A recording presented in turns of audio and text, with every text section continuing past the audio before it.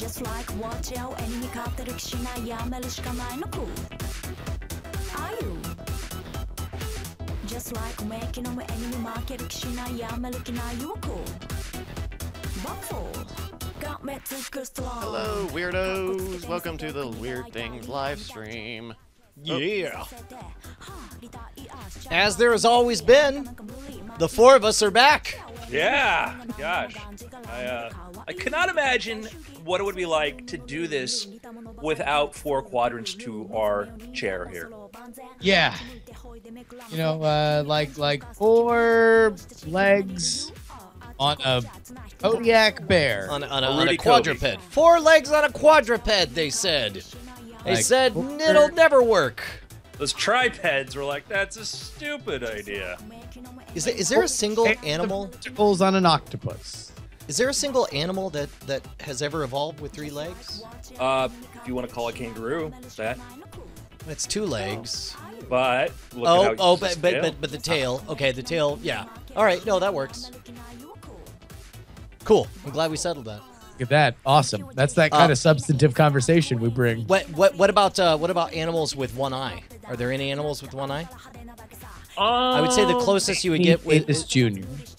like the what what are they the, like the fluke worms that have just the light sensitive spots or something? Yeah, there's there is there is like a vestigial sort of one single sort of thing, but you know, I think any complex organism kind of has that that what is it the the bilateral symmetry. So Yeah, I don't Wik- know. Wikipedia is saying that tripedalism is mostly through mutations and uh, amputations. and, Uh, and what does it list? Macropods such as kangaroos. Oh, oh, oh, oh, uh, we That's do- weird though, right? Because I mean, it's it's more stable to have three legs than I mean, four. then t- or certainly than two. Surely right? than two, yeah. Yeah. Well, remember, it's stable to have three if you're stationary. And if you Oh. watch, if you look at the gait of how different animals walk, etc., then you notice that there's the. But if like three is great for sedentary, but when you're mo- in motion, I guess that makes that makes sense too because there have been um, uh, low budget cars that have been built on three wheels that if you take the right corners, you know, they like to tip over crazy. My friend really wants one of those because they're super cheap. Oh, the They're the, making new ones. the the one that are crowdfunded, the I, I, IGO, IGO think is that what it something is? like that. EIGO or yeah, something? he it's it's doesn't seem you know what you could do is just get another job and get a real car Uh oh shit. I, hey, and not hey. die. He's like, I have enough jobs. Don't make me do Oh, this. no, I, I mean I was gonna say that he knows. Yeah. It's like my friend's like, oh, I'm thinking about getting a motorcycle to get around. Well, you know, it's nice knowing you. You know, we need organ donors. So. oh jeez. All right, we ready to get this going? I have got your links, sir. Okay. Uh, da, da, da, got that ready. Do okay, very cool.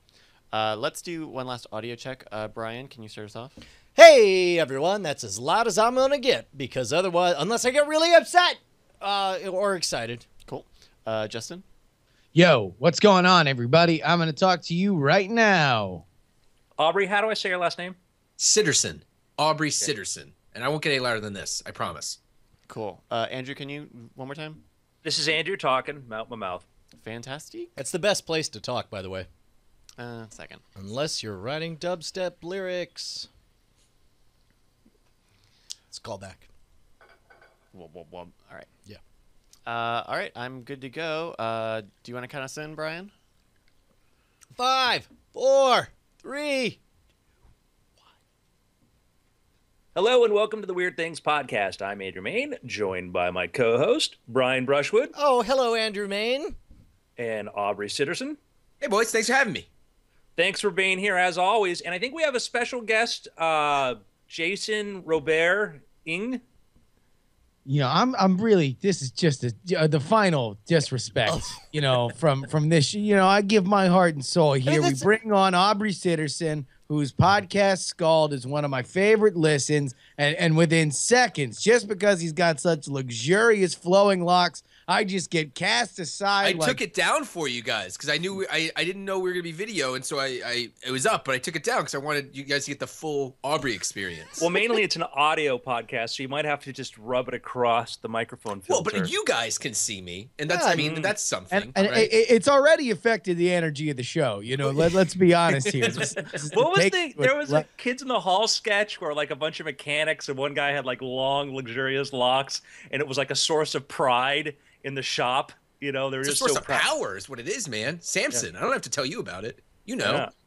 Uh, oh my God, that does sound familiar. I can't remember uh, the the the sketch though.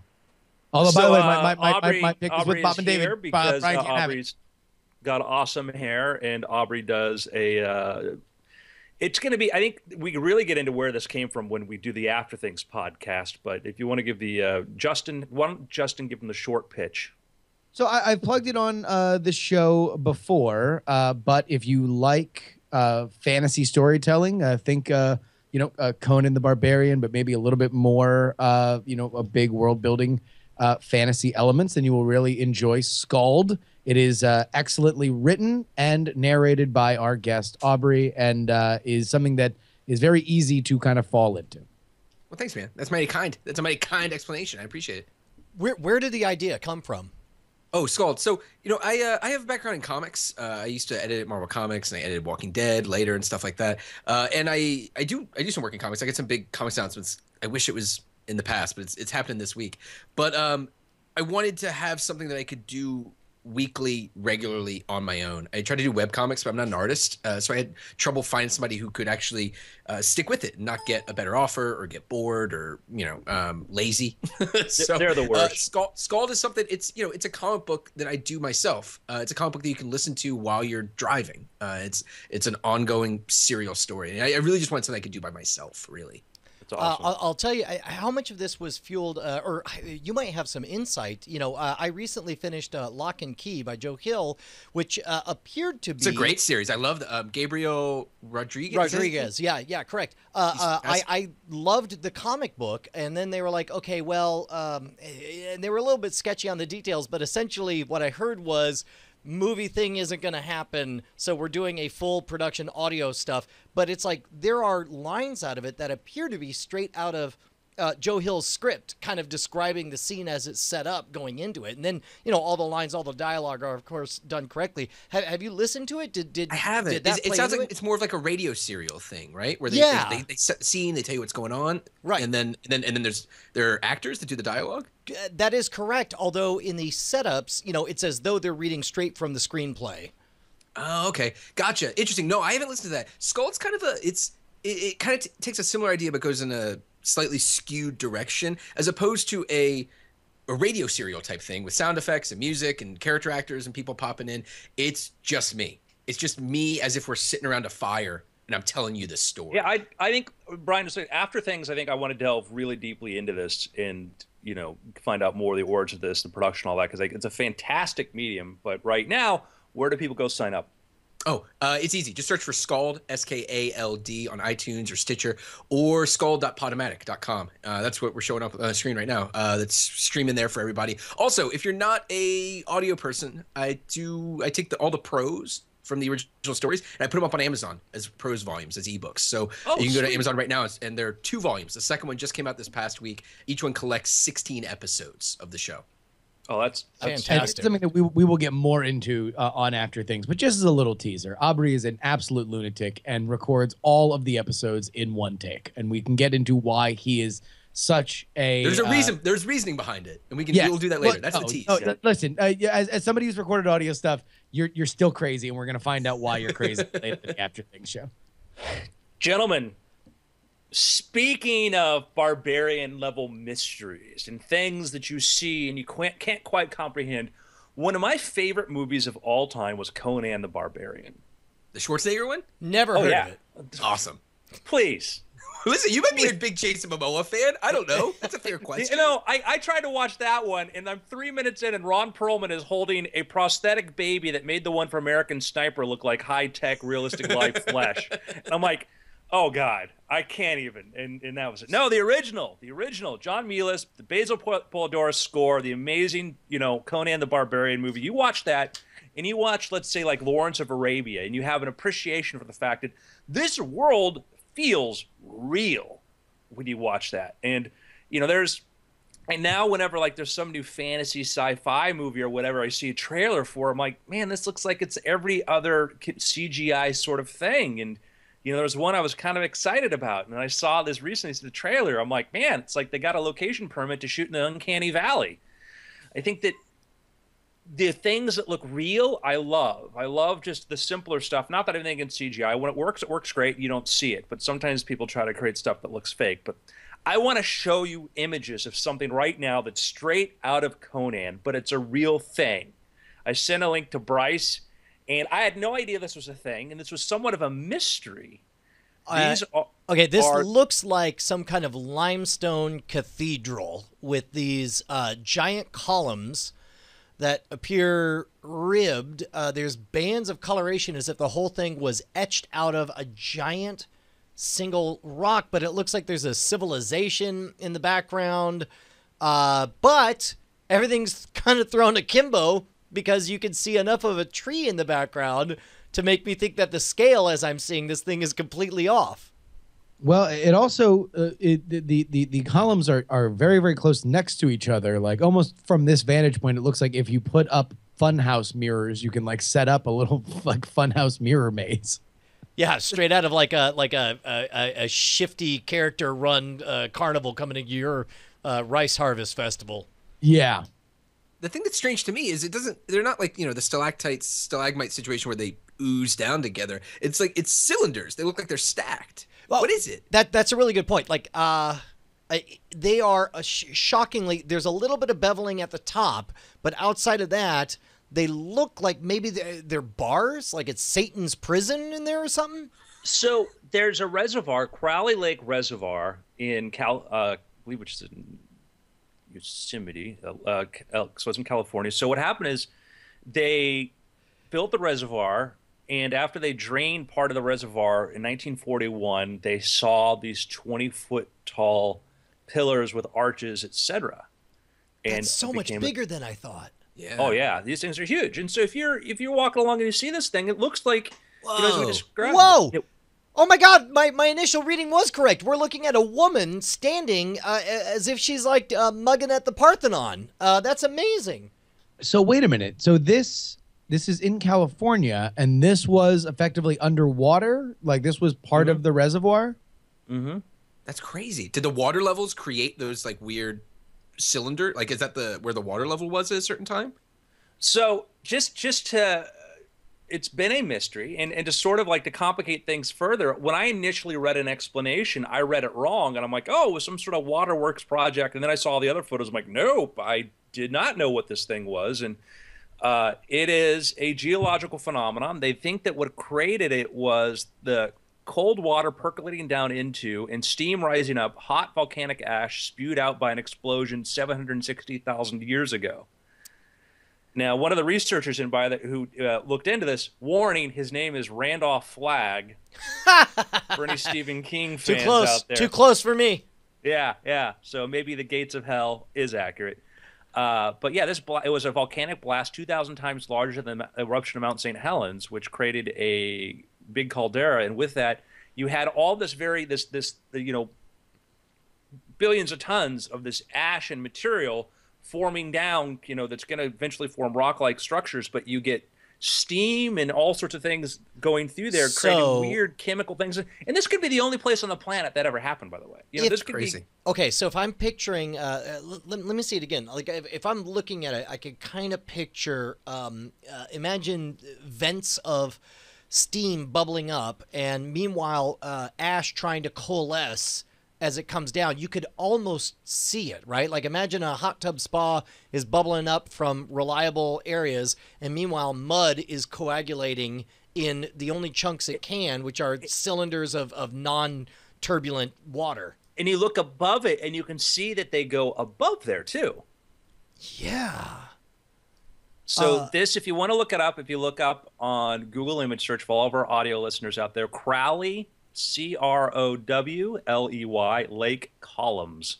Why is it called Crowley? Is it like an Aleister Crowley thing? Or Uh, dude, now oh, great. A- More not an- Satan no, imagery. not an A. Don't get crazy.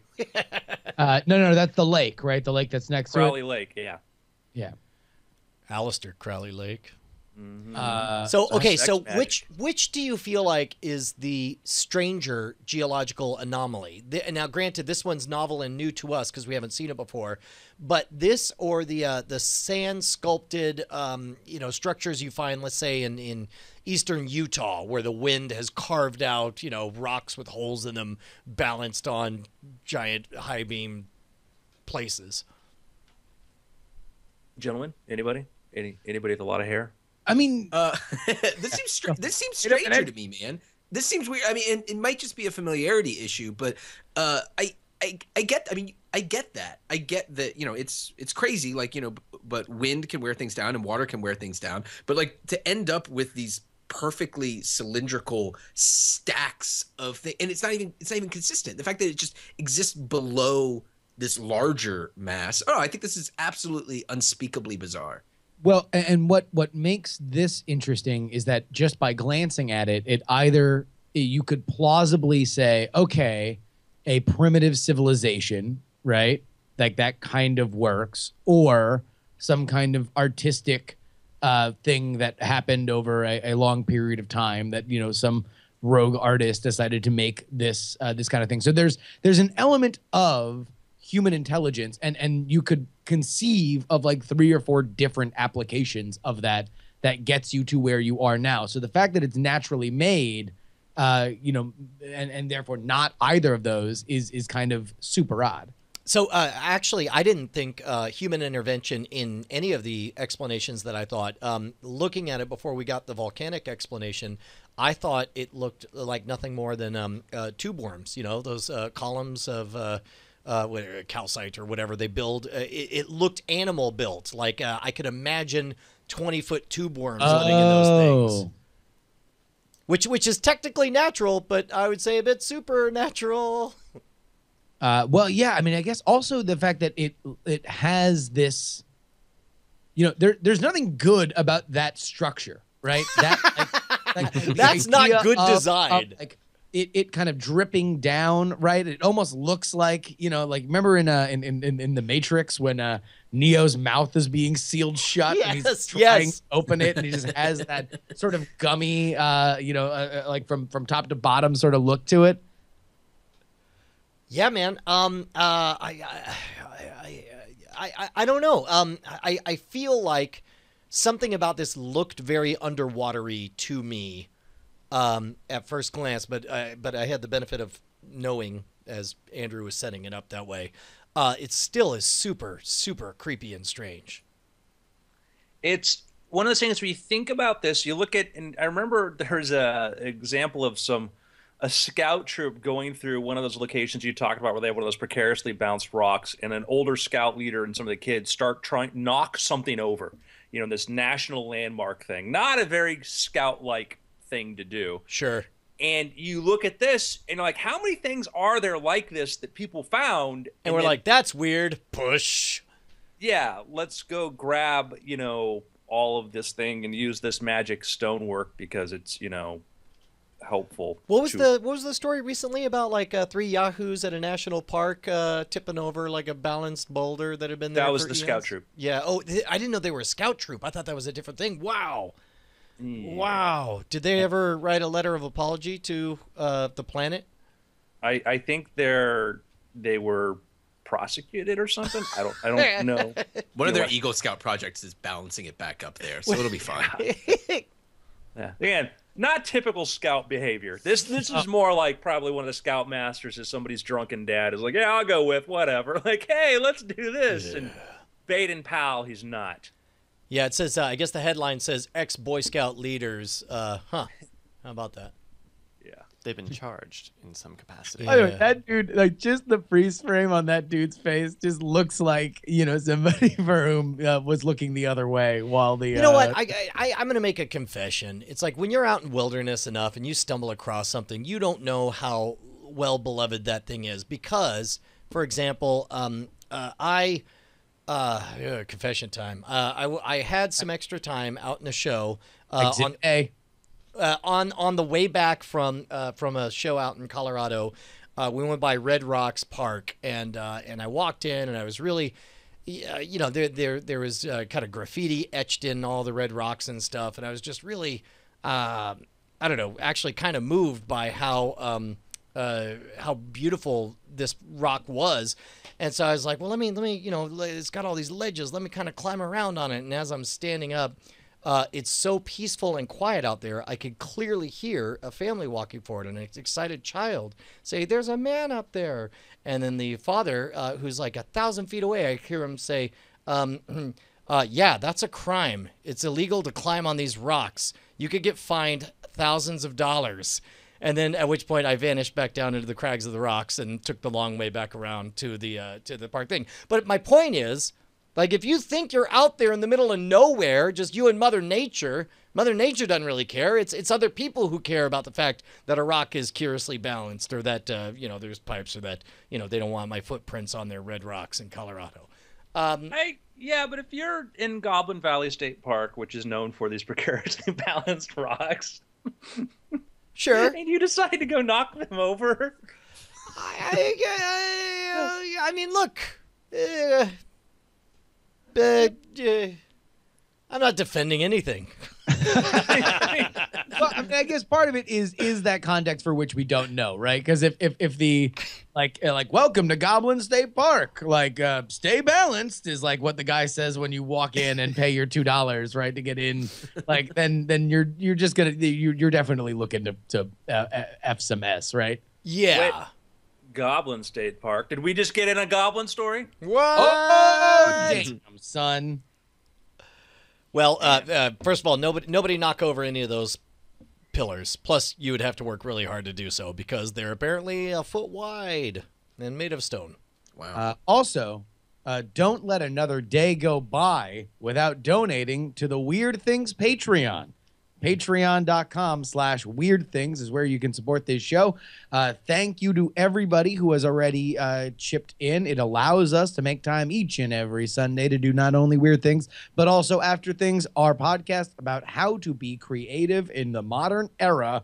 Also, it keeps our producer Bryce paid and gives us the self confidence to act to ask big stars like Aubrey Sitterson to come on the show and chat with us. By the So- way, by the Hey. way, uh, real quick, uh, it's never been more important than now to donate to Weird Things, as uh, one third of our entire cast has eschewed the yoke of, uh, of of working for his oppressors, and one Justin Robert Young is dedicating himself full time to uh, uh, entertaining you guys on the internet. So of course, support his jury podcast, but realize that uh, he makes money from all his podcasts. Uh, yeah, no, absolutely. Yeah, no, no, Hey, not, if not, I, not if I may, I would I would love to if I would love to further encourage folks to give to uh, weird things on um, on Patreon because here's the thing, man. Uh, I use Patreon for my projects as well, and it's fantastic because we're in a place where people can get such niche, amazing, specific content, the exact content they want. It's because we've cut out the middlemen, right? You don't you don't have you don't have advertisers, you don't have these big networks, but in order for that to continue working, in order for people to continue getting that content, the money has to come from somewhere. Uh, so, but it's you know, it's you are enabling the content you enjoy to keep happening, uh, and that's beautiful. That's a beautiful thing, I think. It's Yeah. it's it's like a subscription to being smug and superior, to walking around just a little bit taller, knowing that it's like, hey man, I support independent artists. What did you do? Man, I've been being smug and superior for years for absolutely free. So I don't know. I don't know Well, it's if about time you started or paying. Yeah. but eh, and I think Aubrey touched on a very interesting point there too, and that is that if you don't support us, what's going to happen with these criminal minds? Uh, yeah, dude. Trust Like me. Joe? You want Andrew Main writing books about serial killers, and that's it. you don't want these guys hitting the street, man. no, uh, uh-uh. uh, uh big problem. Um, So I got a mystery for y'all. Oh, good. I was just thinking I was going to solve a mystery. I, I didn't say you were going to solve it, Brian, but you know, Mm. sure. And I got a bone to pick with you too, sir. By the way, Uh oh. yeah, yeah, yeah. We'll save that for later. All right, I'm ready. I'm ready. uh, Brushwood. So, uh, in 2006, a man left a bar. he frequented this name. He, his name was Davy. Frequented this bar a lot, and then he was never seen again. And he was known to sort of go off whenever he got upset and sort of disappear because he was dealing with the pain of cancer and depression. This man vanished, and they just assumed, eh, you know, he probably died. So the family held a funeral and published an obituary a few years ago saying that uh, he passed away, and only God knows the time and place. So you have a mystery. This man goes off and he vanishes, right? Uh, did did did this man uh, uh, uh, become the father of Justin Robert Young? like, All right, Uh, all right, dear. settle down. Uh, and uh, just you know, the guy's dead. We now know he's dead. We actually found him, and we found his car. huh. Uh, okay, so so uh, real quick, uh, uh, new detective agency, um, uh, Skald Services Inc. Uh, is is is on the case. Uh, uh, Doctor Skald, your two trusty assistants, uh, Bebo and What's It, are are ready to to go. Uh, me, of course, Bebo. Uh, where, where should we go first, boss? He was in the car, or the car was found separately. Hold, hold on, from we'll find out. What's it? Can can you call? Can you call the cops? Uh, yeah, it's me. What's it? I always do things like call the cops. Oops, forgot to pay my cell phone bill. No cops for us. Crap. Ah. uh, Another what's it move. What's it? listen, the boss is getting mad every time you do this. Uh, listen, Skald, I'm sorry. Um, uh, we, we, don't, we don't have any cops on the line, but uh, I, I can call Andrew Main. Maybe he has some insight. Um, uh, can, uh, Andrew, is there what's the scuttlebutt? Like, was was the car found in an unusual place? Yes.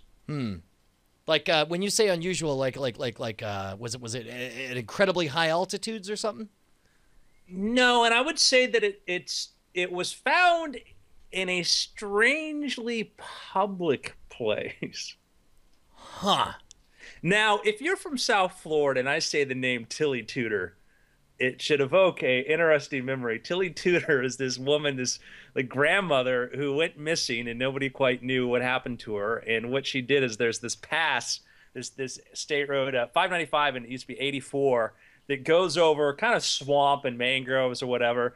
Tilly had somehow gone off the road and her car fell into trees and it got stuck there. Somebody saw this happen and called the state police and said, Hey, I think I just saw a car go off the road. Police cars went there. They look, nope, we don't see anybody.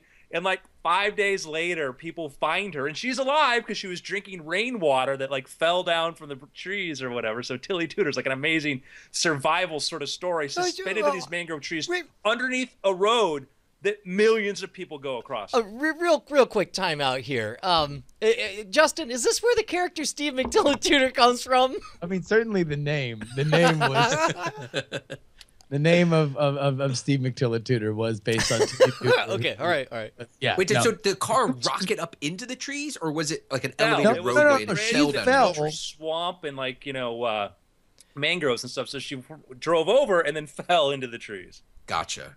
So she was yeah she was survive she She didn't Dukes of Hazzard up into a tree. Oh no no no no no Oh, no man. And, like Tillie Tooter, let's not just say Uh, that she, it, it it was uh, it was weeks that she survived. It was it was a very very very long time. So if, Uh, if we were, they says seventy-eight hours, but Justin's a journalist, so I'm oh not. really Weeks. wait was it only seventy two hours for 70 whatever that's three I- I- days. Dude, that's that's uh, look. Hey, man, there are people who have been dead Oh my and God! She resurrected just in that died time. two months ago. No. Ninety-eight. wow. Wow. So, no, no, no. Three days. Uh, for whatever reason, I remember that being longer. But uh, yeah, no, she Well, yeah, and was. when you're old. Three days is like four hours. to them, but to Yeah. us, it's it's like an, an eternity. That makes them a green beret in our books. Uh, Oh, oh my god! man. So yeah, she was hit. She was going to 595. She got hit from behind, and her car like went over, and whoever did it didn't tell anybody. oh my Um, god. Oh my god, that's so much darker. Knowing, can you imagine being that person where it's like you rear end someone and they go Could you imagine being that person? off the road into what it looks like certain oblivion, and it's like, let's just keep on going. Ah, yeah, maybe. And then you turn on the news. three days later, and it's like, eh, I guess uh, uh, a woman with photo memories, uh, photographic memory, and who probably remembers your license plate. You fear. Yeah. That's amazing. Uh, Uh, all right. Rest in peace, Tillie. yeah. Uh, no. Uh, uh, yeah, that's that, that's crazy that she's died. Uh, So yeah. Oh, this one, so this guy, our, our mystery, our missing person here, found. They were found. We found them. We found them in their car, and it's one of these things where there's the person who found it. You're like, oh wow, that's curious, and then somebody went and did a thingy thing, and they're like, oh wow, this is really even more kind of interesting and kind of right in our face. So okay, uh, so they think he's dead. So they're well, not let's let's necessarily. let's let's start where they found it. Yeah, where's Right. the car? Like- Like so, so we said strangely public. So was it just on the side of the road? Was it on the side of a highway or something? All right, I think once I tell you this, this will quickly be solved, which I'm fine with. It was found in a pond. okay, so usually that's like you know your plan to, uh, you know, to to to just uh, deal with uh, uh, insurance fraud, right? Is you go throw it in in a pond. but with your own skeleton makes the fraud part hard. Yeah. Did did he just drive the wrong direction? Looks like he may have just drived in there. Maybe Off- he was drunk. We don't know. The skeleton was kind of, you know, not in the best of condition because it's been there forever. Off off a pier or or he left Like a bar. he just drove. Like this is a pond in the middle of a funeral home, and he just drove his car up into the pond, I Wait, a pond in the middle of a funeral home? like the parking lot, you know, near the lot. Okay. wait, and the car was there. What's funny is if it was just the body, then I'm like, well, that's a cheap, uh, you know, funeral parlor. They're disposing of bodies in a No, more it's car. economical. The car's there. Yeah, but All right, you ready for this? this Yeah. is how they found it. Some dude a few days ago is up hanging up Christmas decorations on a nearby building. He looks down and he sees, not unlike a story from the movie Gremlins, by the way, he sees this car in the pond, right? He's like, huh, this looks like that's a car. You know, I'm up on my, when you're on a ladder, you can see a lot of things you didn't notice before. oh my god. Hey, is that a bald spot on Phil? You know? And so meanwhile, he's like, he's like, oh, uh, who knew there was a car there the whole time? Crazy. What they call the cops, they pull the thing out, and they find a skeleton in there, and the car is registered to a missing man. And like, wait a second, we think. Nope, don't know what this is. No, but so they haven't positively ID'd it yet, but they're pretty sure they think that this was that guy who went missing back in 2006. But it gets better. Wanna know why it gets better? Why? Why? We live in a world of information, gentlemen. information at our fingertips. Oh my god. Your uh, uh, uh, uh, satellite photos. You can see it in the satellite photos. You can see it in Google Maps. Whoa! There's the effing car right in the middle of the pond on Google Maps. Oh my Oh, god. crazy.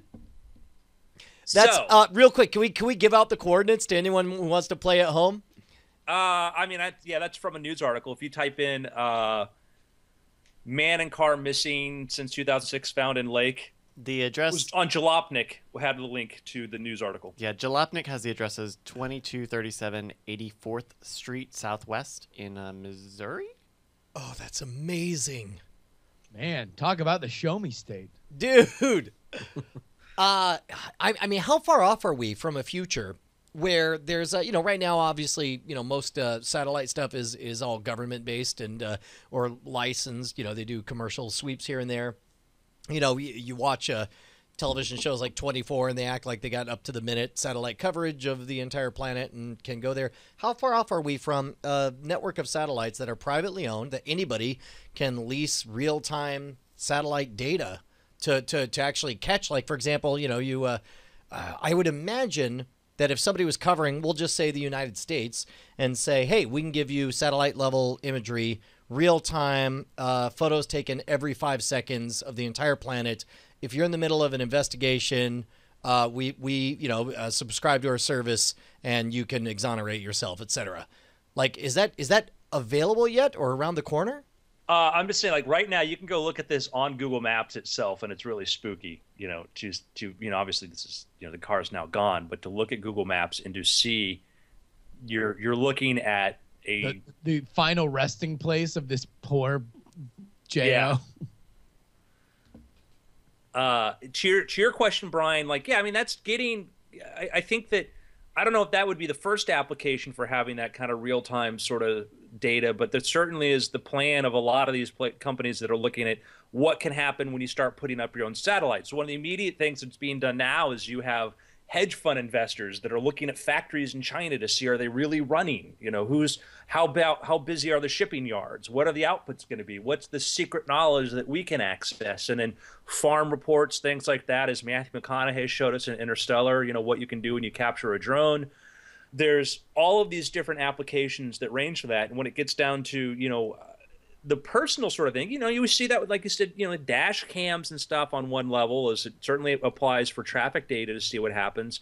But the, the curious thing with this is that the information was there, but we didn't have an ability to process all those images and look for that. One of the most interesting features on Mars is this Martian skylight that leads into this big cavern that I think was discovered by some middle school students that were combing through these images. And you think NASA would be the first one to say, hey, look what we found. But, you know, we still don't have the technology to parse through that stuff and say, hey, look at this. Is there? I know there's already the growing ring of space detritus that kind of like rotates around the Earth now. Like because every time a spaceship goes up or a, a satellite or anything like that, like is there is there a ceiling that we're approaching uh, for just there being too much nonsense floating around the Earth in terms of satellites and garbage and things like that?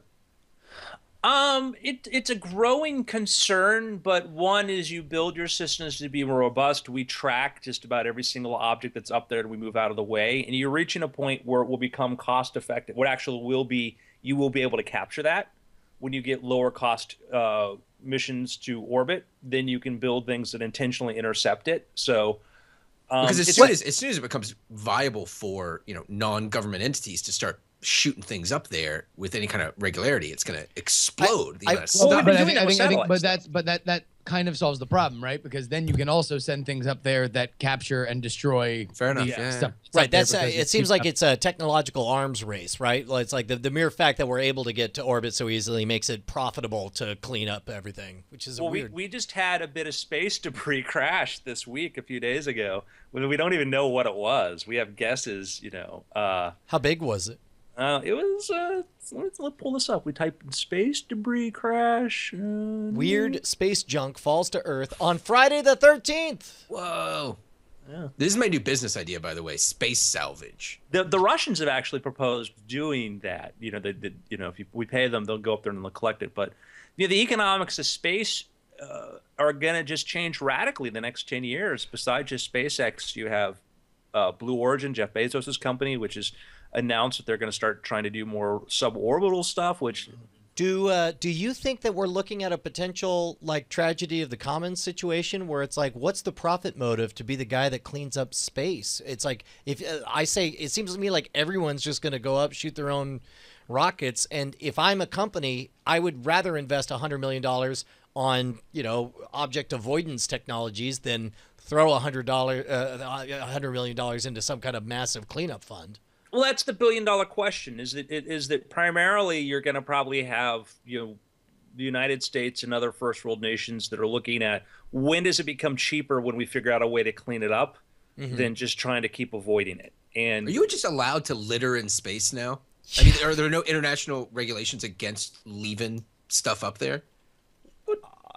I well, well, and that's a good question, right? Because like, uh, uh, you know, as would it be a form of of intergalactic terrorism to just go up and just explode nails everywhere and just? I think that if you are everywhere? intentionally trying to interfere with the orbits of other things, then I'm, I'm sure there's some sort of weird space maritime laws or applications to that effect. And you keep track of trajectories and orbits because you're you don't want to interfere with somebody else. And if you put something in an or- trajectory of somebody else's object, then that's attacking it. You know that is you are doing that. So, you know so when you're you have to be sanctioned to launch stuff into orbit, right? Like, like Well- let, let, let's let's say we wanted to put stuff into orbit now, right? Like, do we we, we have to file that with somebody? oh as Americans, yeah, the FAA, we have to go through all of that. We need permission to But do like that. China doesn't ask our permission before they launch Exactly, because anything they're not. Americans. Sure, so yeah, but it, like so so let's say that uh, that uh, a, a sizable hub of uh, the the new uh, booming business of sending stuff into space is from America.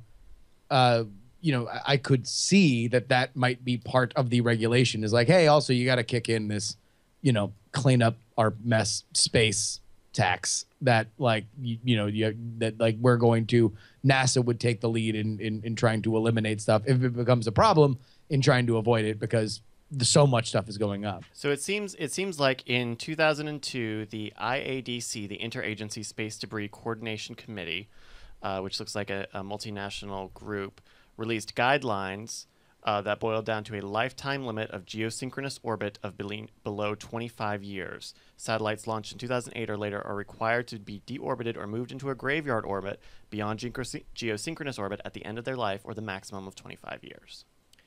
But they, I mean, But that's these are all guidelines. yeah, yeah. They're all like, I mean, you might as well. You call them guidelines. I call them wishes. it's like, uh, uh, I mean, NASA's a part It's of funny. this. It, it reminds me of like you know how things were before we had a real clear idea. We as a people had a real clear idea of, the sea, right? It used to be you could just whatever whatever you had, whatever garbage, whatever you you know, just throw it to the sea. Whatever. The sea's massive. It doesn't Yeah. matter. Just throw it out there. It's fine. It'll it, the sea will take care of it. And we've learned that's not the case, right? Um, right.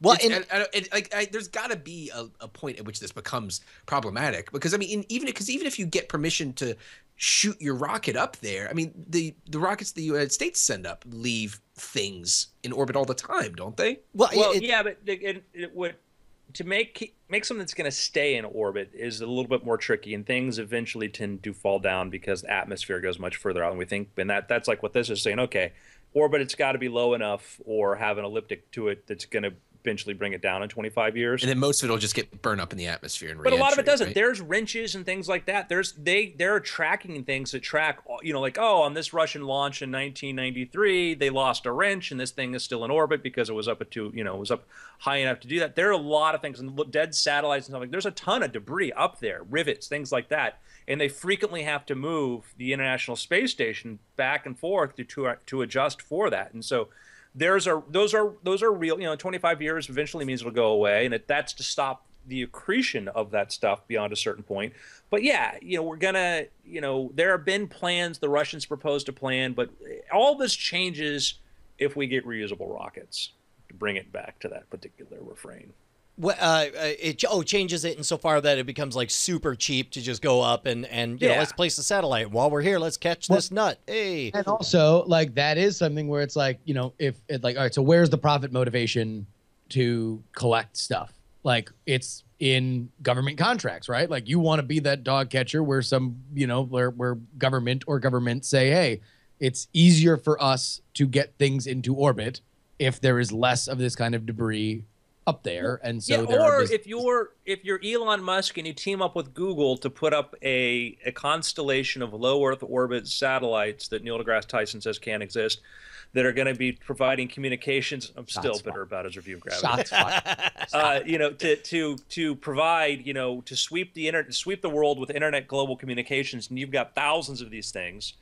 You're going to be like, you know what? Like, uh, when does it become cheaper to build, you know, some big piece of foam block that we move around with little, you know, ion jets that's going to capture all this stuff Well, and, uh, throwing new satellites? It's up so there? funny you mentioned that because that's what I was wanting to talk about. Was when I was a kid, must have been like uh, 12 years old. I was reading Three Two One Contact magazine, where they God, were I love that talking about cleaning up Three, the. Uh, two, one, contact Yeah. is the moment when everything. Sorry. So uh, there was a, there was a lot of stuff talked about. One, you know, like you said, a giant block of foam. Uh, but then uh, in that same article was talking about there was a proposal at one point uh, by France to celebrate an anniversary that uh, by create inflating a giant ring of uh, I mean, basically because it would be so close to Earth, this thing would be as bright as a full moon for the entire year until it fell down and burned up, and then basically they were going to do it just to say, you know, hooray, uh, vive la France or whatever. And uh, uh, uh, I, I'm kind of, I mean, I'm thrilled that we're entering an era where any nutty scheme will become uh, possible because it'll be so cheap to get to orbit. But also, are we looking at an unprecedented age of just crap in our sky ruining our, our view? you're gonna have you're gonna deal with a big backlash though and so if you decide that you're gonna go out and you're gonna light up the sky at night every single astronomer in the world and as we know they're not the most even tempered of their scientists in some regards you're gonna deal with you know a lot of complaining like that and and eh, criticism. When I was a kid, I used to think, man, what if I put a bunch of like solar reflectors or whatever on the moon, and I just turned the moon into a big TV. Uh, I had or, or, or, or blasted uh, uh, lasers at the moon and broadcast, you know, drink Coke on there. yeah, I think that would cause a lot of problems for the Coke PR department. There was Pepsi had talked Yeah, about, which is why. Pepsi will do it. No, Pepsi had actually looked Because into the choice something. of a new generation. Yeah. There was, and it could have been just a PR stunt to to say that it was a PR stunt. But I remember Pepsi was talking about that, and but it's just it's like no, you will you will get in this eco conscious world, you will get so super criticized for doing that. God, that's so funny. Is it eco consciousness or aesthetic consciousness? Right, where it's like, um, or What's the uh, difference, uh, Brian? I mean, I mean, uh, yeah. Uh, do we do we talk about the um, uh, the mealworms eating styrofoam in a previous episode? Do we already talk about that? No, but do mealworms eat styrofoam? Uh, yeah, no, that was the big discovery. Uh, uh, I want to say like four familiar. weeks ago. Yeah, we, we talked about it. Okay, we had a yeah, whole I thought so. about it. Well, specifically, I, we were. Uh, what made me think of it was Aubrey was talking about how our attitudes used to be just throw it in the ocean is huge, uh, but then also just like nowadays, you know, uh, today we discover that mealworms can eat styrofoam and we can weaponize the bacteria and throw it on that you know Texas-sized chunk of plastic and maybe clean up stuff. Um, you know, maybe well, and again, so that quote Texas-sized chunk of plastic, which doesn't quite exist the way people think that. That's one of the problems we have to we deal with. Is we have this perception. We we start banning plastic bags because we oh we don't want to contribute to the garbage bag. Well, most municipal plastic bags are never going to end up out there. And guess what? E. coli infections have gone up in every region, you know, in the regions where they ban those plastic bags because people start reusing those ba- their bags, but they don't wash them. And there have been numerous outbreaks now of people getting very, very sick. And if you want to measure in a cost of life, uh, those little plastic bags are actually a pretty good idea. yeah. Uh, yeah, the stupid bag thing, and It's just infuriating me. No, they, they've effectively banned them. Like Alameda County, uh, where I live in Oakland, uh, they've banned them. San Francisco banned them before that. Los Angeles, Glendale, same thing. Yep. Uh, And it's- yeah, it's well, and- bad and- science. I mean, plus also, eh, whenever you know, whenever you you always open it up for weasels whenever you do that, and I understand it's well intentioned, but in Austin they banned plastic bags uh, for about twenty minutes, where it's like uh, there were just no bags. They're like, "Here's all your stuff. Hope you got big arms."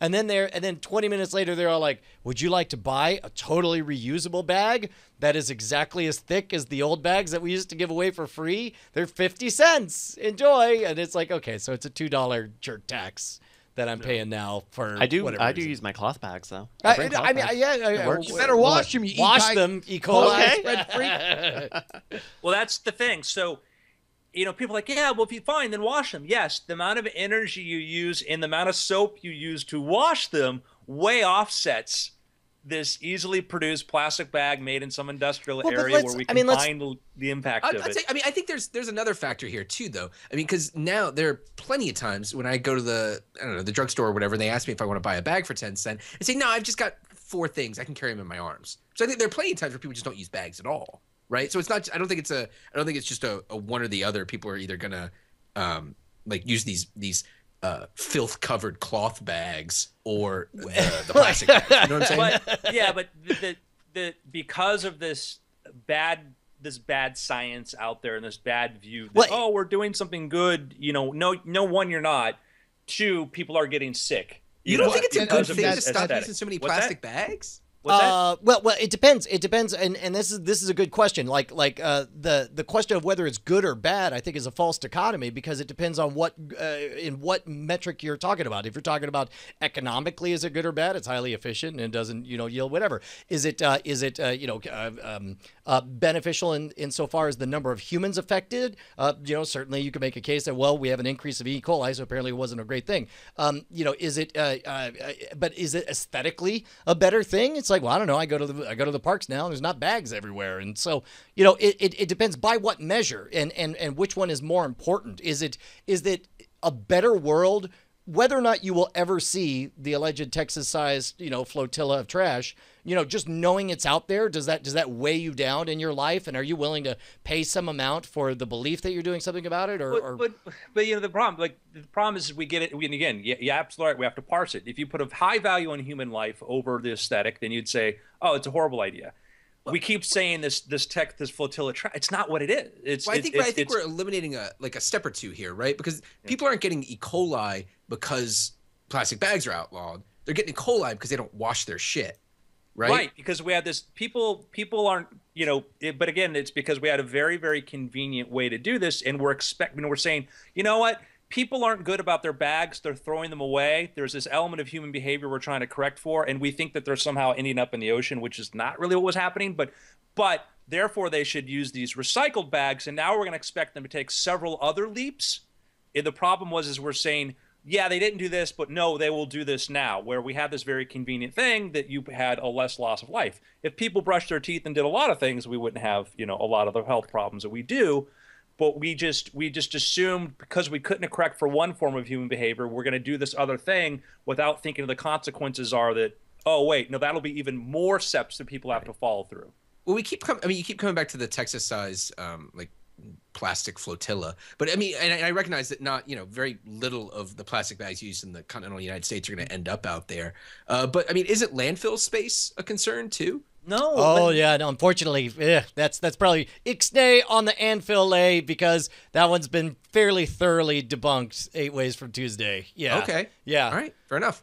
Uh, uh, and and it's fascinating too because um, you know nowadays the, the the science of landfill is so good. You know they can build them deeper. They can they can harvest the methane that's created from it and use it to to create fuel. Uh, and then you know there's even an, an emerging um, uh, class of science. You know uh, modern anthropologists who are doing things like digging up. Uh, they're actually very thankful that they have garbage samples from the 1970s because they are able to actually track the uh, the use of, of condoms over time because you essentially have these little packages. I mean, that's all anthropologists do is look at uh, you know dead people's gar- garbages we, anyway. we could take Ted Turner's ranch in Montana or Wyoming, and we could take one percent of it and fit all of our garbage for the next hundred years, and still wow. have plenty of room for buffalo and stuff. John Tierney, who is a writer for the New York Times, uh, wrote a piece explaining the kind of how how misinformed we were about trash and that you know that, that was that we were it was being treated like religion and just debunked so many of the arguments about that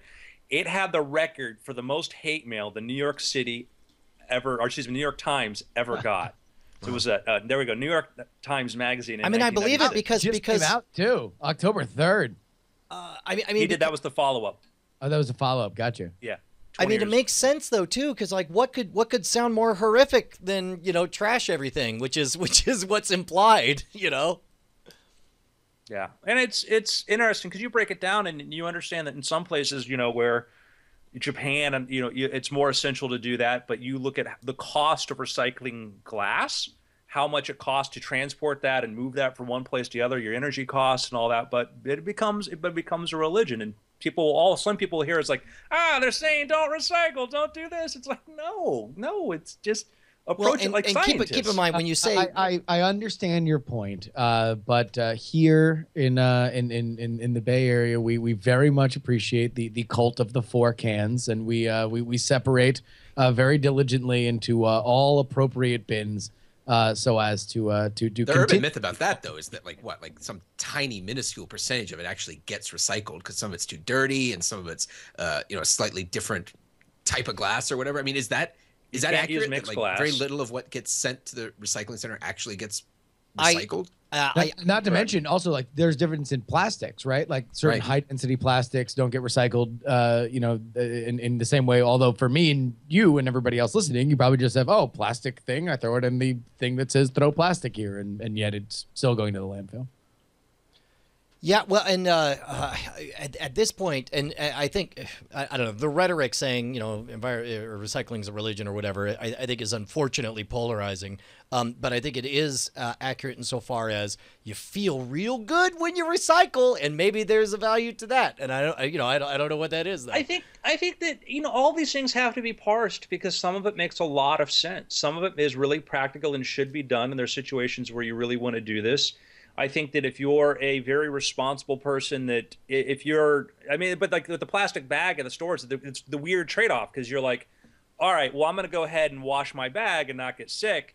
But yeah, but now you're putting extra detergent stuff in the water and you're doing Sure. this and like that's a trade-off that that you know when I the scientists and economists that I listen to like you know, made a very good point that like yeah no it's probably worse for things you know that that's so I don't I don't have any answers but I think for all these things we look at it by case by case you know you know thing and we get past our knee jerk either our knee jerk skepticism or you know knee jerk decision like oh this is right and I want to be a right thinking good person so this is what I do and don't be afraid to ask. And, and especially when it comes to laws and bans and stuff like that. Like Yeah. that's it, it, it's not about what's good and it's not about what's bad. It's about what passes, you know, and what we want to pass and what have has the support of people that are in power. You know, that's that's what happens. gentlemen, should we Yeah. jump into picks? Yeah. Uh, uh with Bob and David. Damn it! Damn it! Ha! Got you. Uh, are, are you watching? Uh, uh, uh, okay, for those of you guys who don't know, there was a wonderful, wonderful show back in the late '90s on HBO called uh, Mr. Show with Bob and David, and it's back again. In many ways, uh, Bob and David never left us. Bob Odenkirk, of course, starring in Better Call Saul and in Breaking Bad. David Cross in a billion different things, most notably yelling at Larry the Cable Guy. And um, dude, what what were your impressions, Justin? You know, there's there's uh there was a, a really fun moment when uh, Brian and I, who have been you know friends for years, and uh, you know I was in Austin a lot over the last month, but uh, you know we we have always shared a mutual love for for Mr. Show, and and just this surreal moment where I can sit next to Brian and watch uh, new Mr. Show content was super super fun. Uh, I've I've said before, you know, I'm I'm very like I have such mixed feelings about uh, our our kind of uh, pet cemetery nostalgia, uh, you know, thing that we have now, where where in in the boom of uh, so many more media outlets that want to create original content, the easiest way to get in that game is to bring back something that is beloved and we remember to be uh, fantastic. Sketch comedy itself is also very very hard and very different compared to where uh, Mr. Show uh, you know, was at its best in the in the mid to late '90s. So the degree of difficulty for them to do good content, I think, is very very high. There, it it ain't Mr. Show. It's it, it is its own thing, uh, both in terms of style and in the fact that I think it doesn't quite have the batting average that Mr. Show had. But uh, man, when it hits, it still has that that that that Mr. Show fastball of being just as uh, bizarre and biting and and satirical. And uh, if just for the fact that there are maybe no better people in the business of comedy of the angry yelling punchline than uh, the cast of, of Mr. Show between Bob Odenkirk and, and Jay Johnston and uh, you know everybody else, uh, Brian Posehn and David Cross and everything. They, they're just so so so good. It's so funny and and it was uh, delightful. There are a few lines and sketches in there that are just like you know uh, uh you know blow your head off your shoulders uh hilarious so Oh, dude, uh, the uh, the the country music video one, uh, the the don't need much, uh, was was note perfect. Like at some point, Bob and David's infatuation with mocking country musicians and country music, and yet and showing their rage by by exquisitely uh, aping it. Is uh, like at some point it's like, look, why don't you get a room with country music? Since clearly you hate it so much you love it, and Yeah. uh, it's No, it's it- amazing. It's, it's it's a it's a it's a country music song that through the first half is just an effective country music song. like it just is something that would be on CMT, and then kind of takes this very subtle and and funny turn. Uh, all I have to say is uh, I love you all equally, and I'm an amazing mom. Uh, yes. Uh, one one quick nod uh, before we move on on that. Uh, I, did you watch the fifth episode, the behind the scenes documentary? Uh, no, I haven't yet. No. Uh, I, I'm about halfway through it right now. Uh, it's it's wonderful because you see the creative process as it's happening. You see the uh, the the the fuzzy ideas that they have and the the gentle arguments they have about what would be better between A and B, and then you see the final product intercut with it. Uh, it's a fantastic insight to the uh, creative process. So argue Right. with that, jerk. Uh, dude, my pick is uh, got to be return. Uh, it's it's it's not it's not a perfect it's not a perfect pick. It's I I, I give a grudging and yet uh, uh, heartfelt pick to a flawed release that uh, that in many ways has fallen very very short of its promises, uh, insofar that it was supposed to work, uh, but it doesn't. Uh, Fallout 4 is a very very buggy game, running on an ancient engine, and yet it is staggering in its ambition. It is wonderful for what it's trying to do. Uh, I I am optimistic that moving forward, it will eventually work on my computer, either any of my computers. It's not working. Uh, well, I mean, I, I get to play for about 20 minutes Mm-hmm. before, as if I'm entering a fever dream, all of a sudden there'll be a uh, neon pink tree. And then I'll turn around and there'll be two neon pink trees. And then there'll be uh, a weird plaid fluorescent garbage everywhere. And then everything gets corrupted and then the, the game crashes. Um, and plus, on top of that, there's there's there's bugs in the quests. There's bugs in the Yes. executions. It's it's it's uh, the looping animations are kludgy. All of that I will acknowledge. However, it is also incredibly uh, ambitious and detailed and real a world. I I am enjoying my my delve into uh, Diamond City to join up with the mysterious stranger to uh, to to build uh, sanctuary and so on. It, um, it took a while. lot It's a slow burn. Yeah, it I, is. I took me about eight hours to actually feel into the game. It took me about ten hours. Uh, I would say. I, I it's not friendly to like Grand Theft Auto Five. I still have not really finished any of the real quest dynamics. I just I just run around and blow stuff up, and that's great, and it rewards you for that. Uh, Fallout is less rewardy of it, especially when it crashes every twenty minutes. But it was uh, it was really good. I'm I'm I'm glad it exists, and I look forward to diving into more. Brian, I want you to entertain the thought that perhaps your experience is some sort of divine punishment. Uh, oh, for playing this game, for not getting work done. No, for your betrayal to me. Oh, wait, wait, wait, what do you mean? When did I betray you? Oh, Mm, Brian. What did I do? Brian, how callously you would say that. How you just sort of dismiss the idea that you could have betrayed me and pretend to have no idea. Oh, how could I have betrayed you, Andrew? I would never betray you oh, or admit to it or acknowledge the, the grievous harm that I have done to you. What was it? What did I do? I had a conversation yesterday with our mutual friend Tom Merritt. I won't name names. I had a Uh-oh. conversation yesterday with somebody we all know. And I brought something up, and he's like, "Oh yeah, yeah, no, we love that. Like, yeah, we showed that to Brian. Brian loves that too." I'm like, "Nobody. I had to find this on my own and discover this." Oh no! What did I fail to share And with Brian's been using this all this time, and he didn't call me up and tell me about this. What, what? Oh, I failed you. How did I do? I thought we were friends. I thought I thought we were buddies, but no. Apparently, when I find out something cool, I try to call my friends, and and maybe I've had people like, "Oh, why do you tell me?" Like, "Oh, that's when you didn't pick up." I was Uh, trying to tell you. oh, Brian, that's really screwed up, man. A- Andrew, really- I- I want you to do know that that I was was- that was really. I mean, it just kind of changes things. I, I Like- went I went through a very selfish period recently, and there was a brief period that I didn't call. I mean, I called everyone else. I didn't call you, um, Mm-hmm. and I'm very sorry about that. And it's only because you refuse to put all your books out on audiobook, and I need you to read the next uh, five of them to me in order uh, uh, for me to Brian, start you're sharing not, again. You're not, you're not, you're not just placing this onto me, okay? damn, and I'm gonna, I'm gonna do everybody else. I'm not gonna pull a Brian on all of you, and I'm gonna tell you what this is. This has been a life-changing thing. This is why when Steve Jobs went on stage with the iPhone and said, "This is what it's an internet communicator. You know, it's a phone, it's an iPod, right? It's also blank." And it would have all the sales that, that the iPhone has now, they would have had like eight years ago. Uh oh. I'm talking about this thing's changed my life. It has changed my I'm not saying for the better, but it has changed my life. I hope this is Candy Crush. Better, better. The Taco Bell app. Oh my God, dude! Ah, I, I tweeted it to the world. I'll tell everyone a million times over. It is life changing. What does it do? I don't even know. Yes. So imagine this. Imagine you stroll into a Taco Bell like a pimp, right?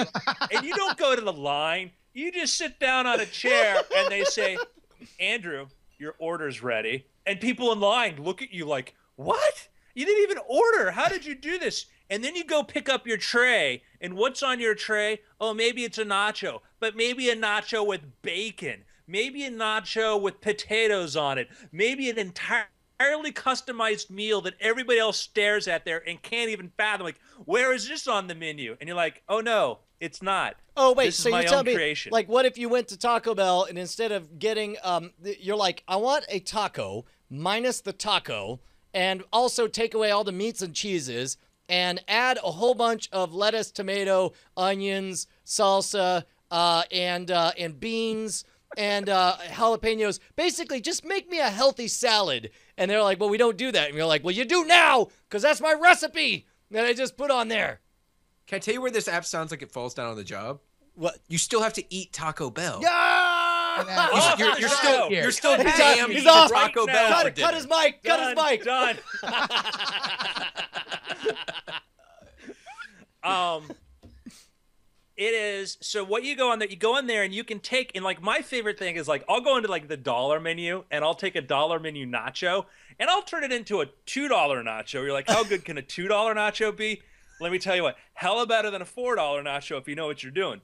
Oh, I had what's that? this is this is some hacking the system stuff here. Hold oh on, let me God. get I ready had to add bacon this. everything. You go in there and you can just totally redo everything you want, and it will save your favorite stuff. So that when you go back and you're like, There's oh, got to be a forum, right? Like, there's oh. got to be like a, a forum where I everybody bet there are has their three own different creations. subreddits on how to how best to hack the Taco So Bell menu. what's funny to me is there's two Taco Bells near me. Not that I'm bragging, guys. They're both about a mile and a half away. One slightly closer. I go there, and it's very authentic because nobody there speaks English, and they're kind of good at the orders. Although I'll ask for like one taco with red sauce, one taco with chipotle sauce, and they'll put chipotle and red sauce on both of the tacos, which is not as good as it may sound. But anyhow. I went into that one and I'm like, hey, I got the mobile app. I asked the girl behind the counter, like, how how many times a day does somebody come in here with one of these? She says, once a week. Oh my god! Wow. I go to the Taco Bell up the road a mile, and I walk into there. I'm like, how many times do you guys have somebody come in? They're like, I don't know, a dozen times a day, more. I'm like, really? Go, yeah, we're right next to a high school. I uh, I didn't tell you the uh, the first time I tried this. I went in and I was asking. I was trying to figure out if I could get this kind of salad thing made. And uh, and you know it's that awkward conversation, and we have to sage thing, and you don't know all the options that are available. It's like, okay, I want this, but take away blank, blank, blank, and blank, blank, like so just beans and and and salsa. And I'm like, yeah, pretty much. And and then they give it to me, and then I was like, I'm gonna try that app thing and I put it in, and I just said yes to so many extras on there that uh, that I and I, I was like, and I'll take two of those and send now, and yes, I'm here to receive it. Thirty seconds later, from across the counter, I hear a a a, a uh, an honest to goodness, like like uh, like not thinking about it, response of like, what the. and then and I was like, yes. And sure enough, uh, three minutes later, it's like, uh, Brian, I got this, whatever it is. Yeah, I uh, I make a show when I go in there of filling out their surveys and give them really positive reviews. oh, so they that's a good call. they see me. I've actually had them. I won't name restaurants, but I will say a place that rhymes with taco smell may have asked me. They're like, "Hey, can you fill out these other three surveys for us too? You know, and we'll give you free stuff." And I'm like, "Keep your free stuff. Not everything has to be a transaction for me. Just the next time you see this face, make it Yeah. good." Hey, listen, I, I'm not I'm not a hero, folks. Uh, you know, sure, if you want to ascribe that to me, that's your business. But I am just a humble servant. Aubrey, Uh, do you have yeah, any no, picks? these, these are I do. Yeah, I, I actually do. It's a it's a band. Uh, Brian, you're an Austin guy, right? Yes, I am. So they are from your neck of the woods. They're called the American Sharks, and they're a they're a metal band, but they're not like it's a very um. A lot of the metal I listen to isn't super accessible, but this is. It's like it's like scuzzy. Yeah, there it is. It's like scuzzy party metal. I first saw them open for uh, the Sword, which is also from Austin, uh, but they're out on tour with GWAR as well. All their songs are like two or three minutes long. It's all about partying and drinking beers and smoking weed and Satan. Also, there's a lot of Satan talk, uh, but it's it's like it's really fast, hard, like fun punk influenced metal. Uh, they have American great videos on YouTube, and it's on uh, it's on Spotify too. Their uh, their only full length album. It's uh, self titled, and Oh, dude. everybody should buy it and listen to it on Spotify and go see them on tour because I want a dozen more of these albums. They these uh they they they're performing on uh, Saturday, December fifth in Austin, Texas, at the Canned Festival in Austin, Texas, uh, at four p.m. You'd be a fool to miss it, Brian. All I'm right. telling you. Hey, uh, so so as a uh, metal aficionado, um, Oh, man. Am am I uh, uh, am I liked more or less on your radar for being a, a fan of, of baby metal? Is that is that like a gauche thing among uh, among metal Uh, you fans? know, some people, some people really look down there. It, it's not for me. I don't like it. Uh, but I don't dislike you Hmm. because because you're like well, thank goodness I can No, sleep he just likes tonight. You you're still you're still okay by me, Bushwood. Brushwood. All right, good. No, I mean it is. It is any anything that's very sticky in the metal, like is it has its detractors. So so so like. What am I- Dragon Force is is is too for or sure, Death for sure. Or- Ghost. Also, I love Ghost. They're one of my favorite bands, but they are very sticky. And the camp is a huge part of it. And so they have their detractors too. But but is there any camp in American Sharks? Uh, not really. No, it's just grungy and dirty and fast and fantastic. Awesome. I have a plug. Go.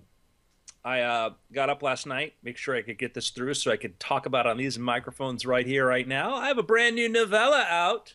What? Did you write it in 24 hours? I learned how to do that from your book. I did the first draft in 24 hours. Wow. I, I spent uh, considerably longer on the second draft because when you write something in 24 hours, you, you need to then sit down and edit. Um, so the last line this- is like, and then hit send. The end. done. so I wrote a novella. It's called Game Knight.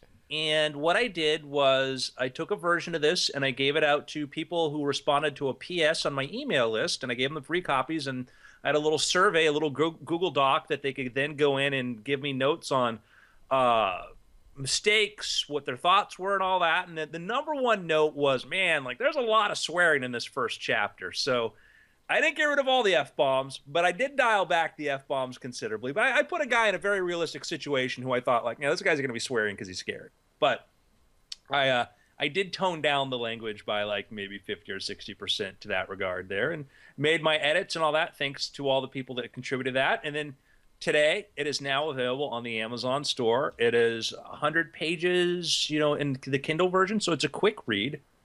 Um, Justin, you look like you're about to say. Are you upset that I took out the f bombs? Uh, no, no, no, no, no, no, no. I, I, I, I mean, having read the uh, read the novella and, and given uh, uh, my notes on it, I, I think that uh, I can understand where people would, would would find it jarring. Although I will warn anybody that uh, if if you have a problem with some of the f bombs in the first chapter, there are some some themes and situations that happen in the chapters there. Are they are they But- adult in nature? Yeah, it's it's it's HBO. I mean, it's very it's it's violence and there's sex and violence in there. It's I describe it as sort of Fight Club meets Game of Thrones. It's the the premise is well, I'll read you the description, ladies and gentlemen, since you asked. They the first time they came for Kevin, he woke up in a forest on the edge of town with a sword and only seconds to save his life before a lunatic with a battle axe nearly split his skull. At first, he thought it was a dream. Then it became a living nightmare as he found himself night after night having to fight in abandoned shopping malls, dark alleys, and swamps on the outskirts of civilization. The rules were simple. They could come for him any time they wanted. And if he went, if he resisted, someone close to him would die. A twisted clash of Fight Club and Game of Thrones, where the only way to survive is to never stop playing. That's the premise. Dude, that's fantastic. Uh, no, it is it is exceptional. Um, uh, I'm I'm very very excited for Andrew to have something out there for uh, people to just go and and and take uh, take a look at. So uh, I I having read it, man, I, I devoured it in in about two hours, two and a half hours, maybe uh, you know a little bit longer, and it was uh, it was an absolute awesome awesome tear through it read. So I would say everybody go check it out. Game Knight, K N I G H T. totally nothing to do with night school which is more juvenile i just Yeah. you know i uh i very limited imagination when it comes to titles or plots we're going to try to do an audiobook with justin doing it if he has the time um and other note too is by the way uh thanks to all the support uh my booklet how to write a novella in 24 hours is still hovering in the top 10 on books on writing on Congratulations. Oh sweet. So that's been that's been just a consistent. I think keeps keeps doing it, keeps staying up there, and you know it was like number seven yesterday. I think it maybe right now I'm looking at it number nine. So Wow. that's turned out That's well. amazing. The the the reviews have been great. Um, it's already at 30 reviews. If you like anything any of us do, Aubrey's podcast, Justin's podcast is books, Brian's podcast and books is YouTube videos, all that. Please, please, there are thousands of listeners to this podcast. And if we had 1% of the people who are listening, and that means don't wait for, don't be, you know, the 99 waiting for somebody else to do it. If you do this, if you go in there and there's something you really like and you want to share and you tell people about it, it means as much as when we ask for, like, hey, if you can financially support us or whatever, every time you put a vote and you say, hey, I really like this, I really dig this, it helps a lot. Disproportionately so. I mean, Yeah. like, like in, y- in you- fact, if, if you were to say, what would you rather have to any of us? One dollar on on on the Patreon that would charge for each episode, or that without fail, every single time there is a new project for which I buy and like, I'm still speaking from the point of view of the person that we would uh, honestly rate and or, uh, and review it. We would say, keep your dollar, Holmes. You just go ahead and, and check it out, read uh, and, and, review it, and give it a, a good uh, a good rating based on your honest opinion, because Yep. uh, that is huge. Oh, I, that's why I'm, I have a I have an email list, you know, which is getting bigger and bigger.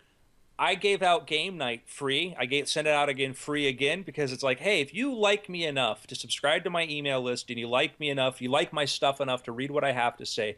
I don't want yeah, yeah, I would love it if you bought my book at a dollar so I can get it up at the sales chart. But what I really want, if you're one of these people that loves my stuff, I want you to tell other people why you love it so people who are reading reviews can decide if it's for them you know i can't i can't write stuff that everybody's going to love. I know that. But people who like my stuff who tell other people why they like it the same with anything else other of us here do that's what means the most. So if you can do that oh my god. I mean that is it is helpful. And we're not asking like don't lie. If, if there's a thing that we do that's not your thing then yeah you know you can take a pass. But if there's a thing you're passionate about tell people. Yep.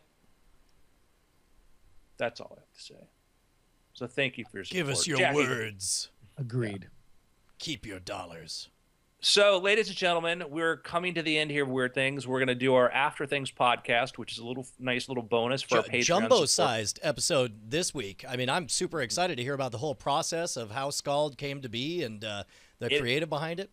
It is. I can't wait because uh, what our guest Aubrey is doing is it kind of creating his own sort of little genre here and his own little thing of what he's doing. Which I'm excited to do. So, we're going to take a break from Weird Things and call it an end. We're going to say it's been weird. But now we're going to do bathroom breaks. Yeah. Good show, guys. Was that okay? Was that okay, guys? Dude, you were, Thank you, you were, you, were, me. you were fantastic. Um, uh, apologies if, if it got uh, remotely weird when we started talking about economics and environmental policy No, randomly I- in the middle I- of there. I. I don't. I don't know. I don't. know. I didn't know any of that stuff you guys were telling me. My. Sh- uh, I think it's just Skype hating me. It kept cutting out. Did it fuck up anything on your end? no, no, the audio was great uh, through the entire way through. It like I, it would just cut out every once in a while. yeah, and I I, would pop yeah. back in. We we saw it come in and out a little bit, but uh, it, it everything came in fine. So uh, no worries Okay. about that. Oh, I was worried. All right. I'll be right back. Alrighty. Yeah. Alrighty, let's look at some show titles. Yeah. Oh, I would love to, uh, if you have the chance to uh, queue up, I would love to hear just a snippet of Skald so I can know kind of what flavor. Okay. Alrighty. Uh, so here's what we got. Uh, ooh, these are long ones, y'all. These are long ones. Yes. Uh, the full Aubrey experience. Hey Ash, what you doing? Making really cool movie sets. That's a very specific reference. Yes. Uh, Doc, Dr. Scold with Bebo and What's It. Florida underwater cars can't break volcanic underwater California limestone. Come on, gambling man, please. Stroll into Taco Bell like a pimp. Another What's It move. Uh, uh, hmm. Mm, some weak ones today. Um, let's do uh, uh, litter in space. How about litter in space? I like that one. Yeah, we'll do that. Litter and lowercase i in space. So I have an idea. I'll wait for Brian to get back before I share this. Alrighty.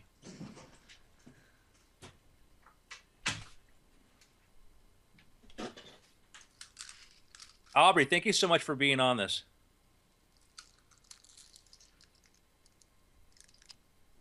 Uh, thank you so much for uh, coming on, Aubrey. I lost you again. God damn it. Oh. You can't hear us. God damn it. Fine. Don't say thing? you're welcome. It's okay. Just be a jerk about it. Uh, oh man. Uh, uh, uh, uh. Gambling man. I mean, they could be long names, but they could be better short names. Uh, so, so Skype is a nightmare. yeah, it's it's screwy. It's uh, it. Do you guys have this problem all the time? I never use it for anything. Um, no, w- it's it's mean, a very we- occasional issue. Like my internet connection is fine. Yeah. It's gangbusters right now. It's just a Skype thing, I think. Yeah. Uh, I'm we, sorry. I apologize. No, no, no. There was there was a whole month there where our Skype connection with Tom for Cord Killers was really bad, and it was just Skype, and we don't. It it somehow resolved itself, but Skype has so much voodoo going on behind the scenes that like, there's no idea. Uh, uh, uh, There's there's like no some way. some guy in India with cables and stuff. Just hold them together. them. We need to take a snack. Everything goes down. There's like a bunch of monkeys helping them out, holding things with their toes and stuff. Uh, so so Brian, you, you mentioned wanting to hear a little bit of Skald. Uh, well, I just thought like uh like at, maybe at the top of uh, of after things to kind of set the stage because you know we're going to drill down on on the whole process of how we got there. It would be great for the listeners to to to hear a snippet. Is there a particularly good bit, Aubrey, that that we should listen to? Uh, I wouldn't know how to direct you to um, a specific bit. Do you want to Uh, like but- start but with the, like the first one, just the No, very... actually, I think it'd be better to do a more recent one because I've gotten a lot better at it, honestly. Um, so just something from like the first couple, like minute or two, is usually my intro stuff. Uh, But anything after that, Well, let me let me let me. Uh, we we haven't started. We're not going to be recording yet. Let me listen to this and make sure And this we got a good starting point. is Skald.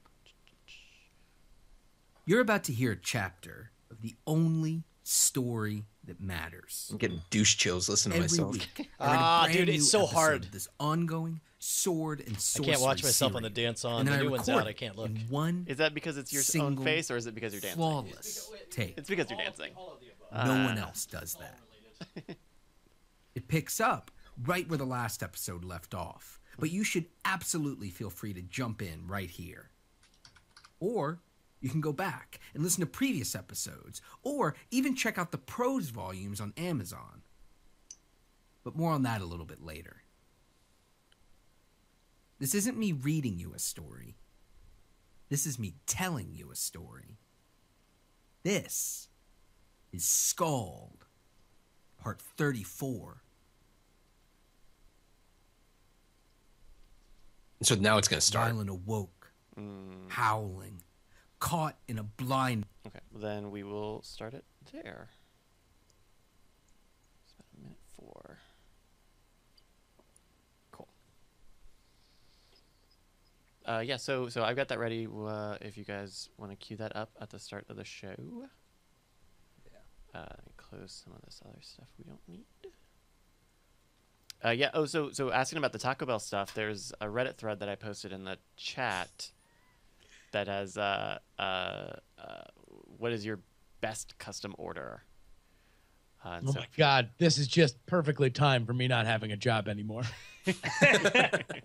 Justin, this is like a flashback back to when we were oh in my Florida. God, this is so good. I all I want is ju- I want to try all of them. All like like this is like the like like uh, the the the, the like the, the Sims version of the Taco Bell. Like now you can like like like we don't have to.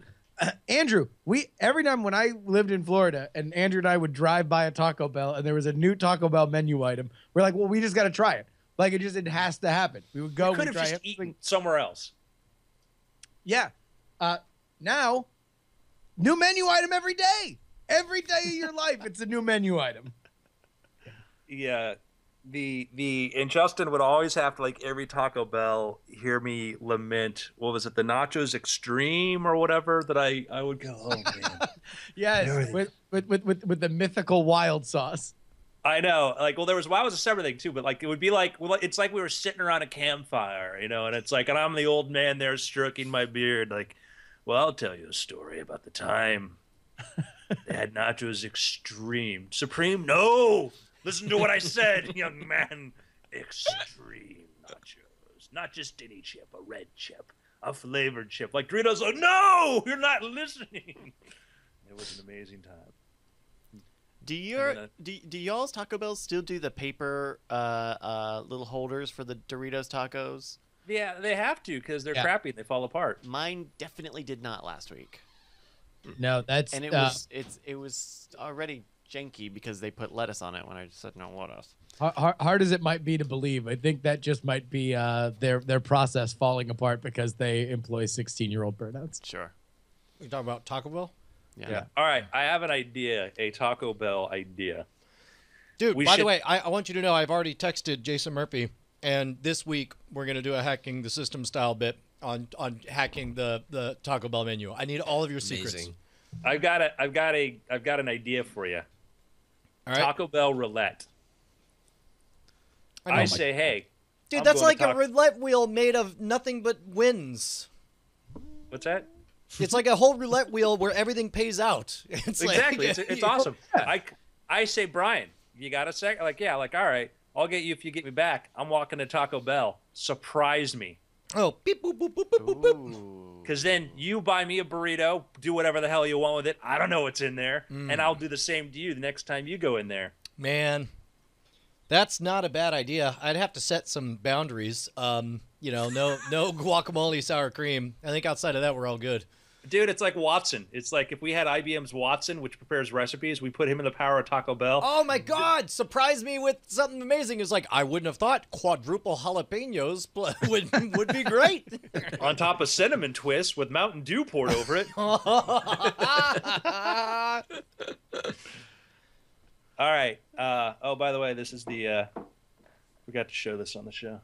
Uh, the paperback. oh, it looks great. Wonderful. Is that a matte finish on the front? Yeah, of course. I can't see anything. Is, Oh. is this something on my end or you guys' end? Oh, we restarted, you know so what, we're uh, not sending uh, you there it video. is. Every time your your call dropped, it it stopped us sending you video. So Uh, I think gotcha. you can stop Ah, that looks great, video. man. no, Aubrey, Oh, oh, you, you should consider Yeah. with your books doing the Create Space version, mm-hmm. a printed, and and it may not like sell a bazillion copies, or maybe it will, but it's an awesome giveaway to people. Uh, that's smart. Yeah, I was I was wanting to wait until I had two volumes worth, and I just released a second volume this past week, so I didn't want to spam too many formats too quickly. Uh, so I'm, I was gonna hold off uh, and then do like a larger volume, but that's definitely part of the I plan. yeah, I'm a believer in. Um, I don't mind. I like digestible, little portable. Like I'm gonna have this thing and read it, and then I'll have another thing portable and read it. I mean, I like that because then there's nothing like you know when people want to collect your stuff. As I reach over and produce, you know, like I did all these in the last you know four weeks. Wow. You know, and it's this was an old book that I already had that I repurposed, but it makes a very you get fans, you get super fans that For sure. Yeah. I mean, I think my plan for Skald stuff of it, like for printed stuff, is I want to do it like an art object. Uh, so I have a bunch of friends from comics and stuff like that who I want to contribute pieces and I want to have illustrations and uh, and like have like a nice bound thing. So it's just like a, a matter of how like I'm going after that the audience who actually wants to own physical things. And so I, I would I would want to create something that was more like not not a coffee table book really, but something that it's that you would want to hold. Yeah, something that enhances the experience Yeah. beyond. It's not just like I get you, I get you.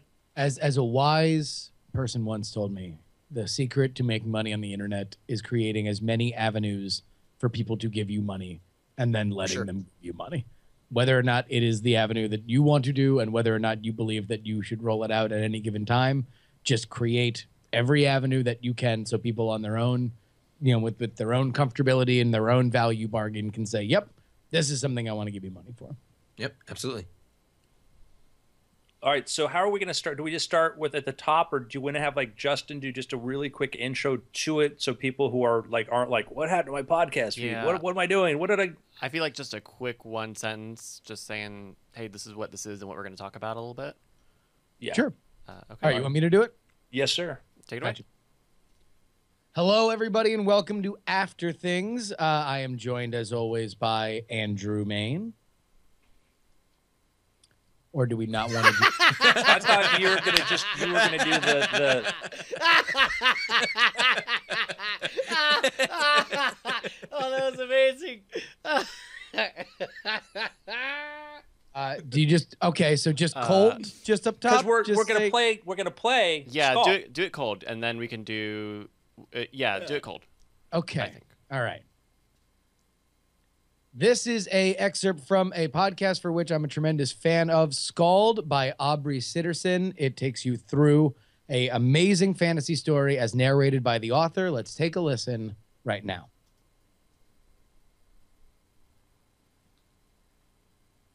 Xylan awoke, howling, caught in a blinding flash of light.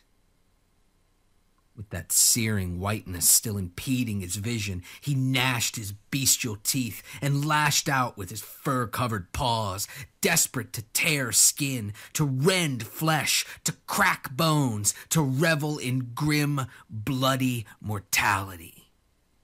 And laugh. Lie to me? Deceive me? He cackled and snarled at the old wizard, the one who had put a stop to his attack before sending him careening into slumber. With his vision slowly returning, Xylan scrambled to his feet. I like a trick, but I love a joke. Come closer, let me tell you. But as he began to make sense of his surroundings, the godless monk realized that the wizard, the bald headed old man with the distinctive purple birthmark, was nowhere to be found. In fact, no one was anywhere to be found. Nothing was to be found there, as Xylan found himself in a dim, barren, lifeless tundra, dimly lit by a quickly setting sun. For the first time since he transformed, since he devolved, since he changed, Xylan slowed. He stopped. He looked down and took stock of himself. He gazed down at his hands. No. His paws, tipped with short, blunt, black claws, claws that flexed and quivered as he stared at them, claws that wanted to be out, to be free, to sink into flesh and tear, to carve out red gashes, gushing rivers of gore, to give rise to the immortal, timeless joke of. No. Xylan closed his eyes and he shook his head, desperate to blot out the images of rushing blood and pumping viscera that filled his mind. He stood for a moment, motionless, silent, but his attention was divided by that sound, that horrible giggling, sadism fighting for attention with masochism, driven to distraction by that laugh. Horror creeping across his consciousness, he realized the truth. It was his laugh. We're listening to Skald, which is a very epic podcast in the truest sense because not just the story content of what goes on there, the way that it's produced by our guest and what he's doing. And, I, and uh, Justin singled him out to have him on. Uh, we had him weird things and after things, and it's uh, so excited to have you here, Aubrey, because Hey, thanks for having me, man. you know we we deal with. By the way, I'm Andrew Mayne, joined by of course Brian Brushwood. Yo, I'm sorry, I'm blown away. I'm I'm clearly not here in these United States. no, Justin Robert Young. Hello. And what excites me about this is that you're you're you're playing with mediums in their own way. You know, you've you've created something very cool that's this high fantasy, I guess we'd call it. And you're the way you're producing, the way you do it's really cool, and it's something new that's you know kind of hard for people to sort of process in some ways. Obviously, there have been stories told narratively like this, but the way you do it and how you're doing it is very cool, and it's why you're perfect for this to come be here. Well, thanks, man. Uh, no, it's I, I'm I'm thrilled. I'm thank you again for having me. Uh, uh, Skald's something I'm super proud of. It's uh, it's uh, Justin mentioned it on the the Weird Things podcast, but I do everyone in one take, uh, and that's kind of very much part. And you, and you touched on this a little bit that it's it's it's meant to be a kind of continuation or a, uh re um a new way to introduce a, a really old like the oldest form of storytelling right? Which is just oral storytelling just sitting Right. down and telling somebody a story. And it's some of my favorite stuff uh, just you know it- one of my favorite things to do is just sit down in a dark bar with somebody who's really interesting and let them tell me a thing right? And so and so that's that's what Skald's supposed to be. Skald is supposed to be sitting around the campfire hearing the story. It's supposed in a skald the that term it's basically just a scandinavian bard right, Right, uh, it's uh these are the guys who hung out in the courts of the kings and jarls and talking about I'm gonna- big I'm going to interrupt you back and- up for a second. When Yeah. you say, okay, so are you reading from a script when you do this? Well, yeah. So I I Okay. write every episode. Uh, Okay. and so I write a new episode every week, and then I uh, I read it right? But it's Mm-hmm. it's written. It's interesting, and so I, I have the prose stuff available, and uh, I put it up because I want. I know that not everybody wants to listen to something, but truthfully, it's written to be heard, not read. Uh, so there's a lot. Of, there are a lot of little tricks and things that I do because I, having listened to a lot of audiobooks, I, I struggle with them because my mind wanders, and all of a sudden I, I come back in and I have no idea what's going on, and I find myself rewinding constantly. And that might just be me being bad at listening to it. Uh, no, as, as as some as a audiobook evangelist who keeps handing out and buying audiobooks for other people and hearing back from them like, yeah, you know, I guess I just am not an audiobook person. I just tune out, and I, and I was like, how can you do that? That's crazy. Yeah, I mean, so so for me, the struggle is that I I don't know, my mind wanders. If I'm driving and I'm listening to this thing, I I start thinking about something else. And when I'm reading a book, I like to go back and read reread passages if my mind wanders or if I just like the way it sounds. So you know, one of the things I do with Skald uh, to try and combat that is I do a lot of repetition. And so I, I've heard from people that it, it makes for kind of a weird prose read, but actually hearing it, it's helpful uh, because the repetition allows you to kind of zone out and come back in. But it also allows me to add extra emphasis to whatever it is that I'm repeating. You know, and- and- that's, and a, it that's an feel- interesting note because in as a writer in the written word, you avoid reusing a word. You want to avoid if I say I went to the window and I looked out and I saw nothing, so I stood back from the window and went to the other side of the room. You would avoid using window twice so close sure. to each other. But if I was, you know, doing a narration of that, I went to the window and I looked outside and I saw nothing. So I pushed away from the window and went over somewhere else. You you have that downturn. You actually, the one that you guys just played, I used the word dim, or I used dimly and then dim. Uh, in like I don't know, like five words separated from each other, and reading it that looks lousy. But when you say it, you know, it's it's this um, it was dimly lit by the sun, and that dim light or whatever, you know, like so it's it's a way to further play with language and because you add that aren't- emphasis to touch exactly back. that you're not able to do with prose. And so that was when i first started it i made a huge list or i made two lists right? One of all the stuff that i'm going to lose by doing by doing it primarily um, audio based right? Uh, it's going to be more difficult for people to pick up on. And then i made a separate list of all the the, the pluses right? All the stuff that i gain. Uh, and what it is is just you know it's inflection it's tone it's speed. You know there are things that like i can say it and but if i say it quickly it doesn't register with you just as much. So it's something that's seated, but not maybe not seated as hard as it would have been if it was just written. Does that make sense? I Yeah, like well, and, and and to give a little bit of context, like uh, explain to folks some of your your pedigree. Like uh, this is the kind of story that had the option to go through the traditional comic book uh, uh, publication uh, avenues, right?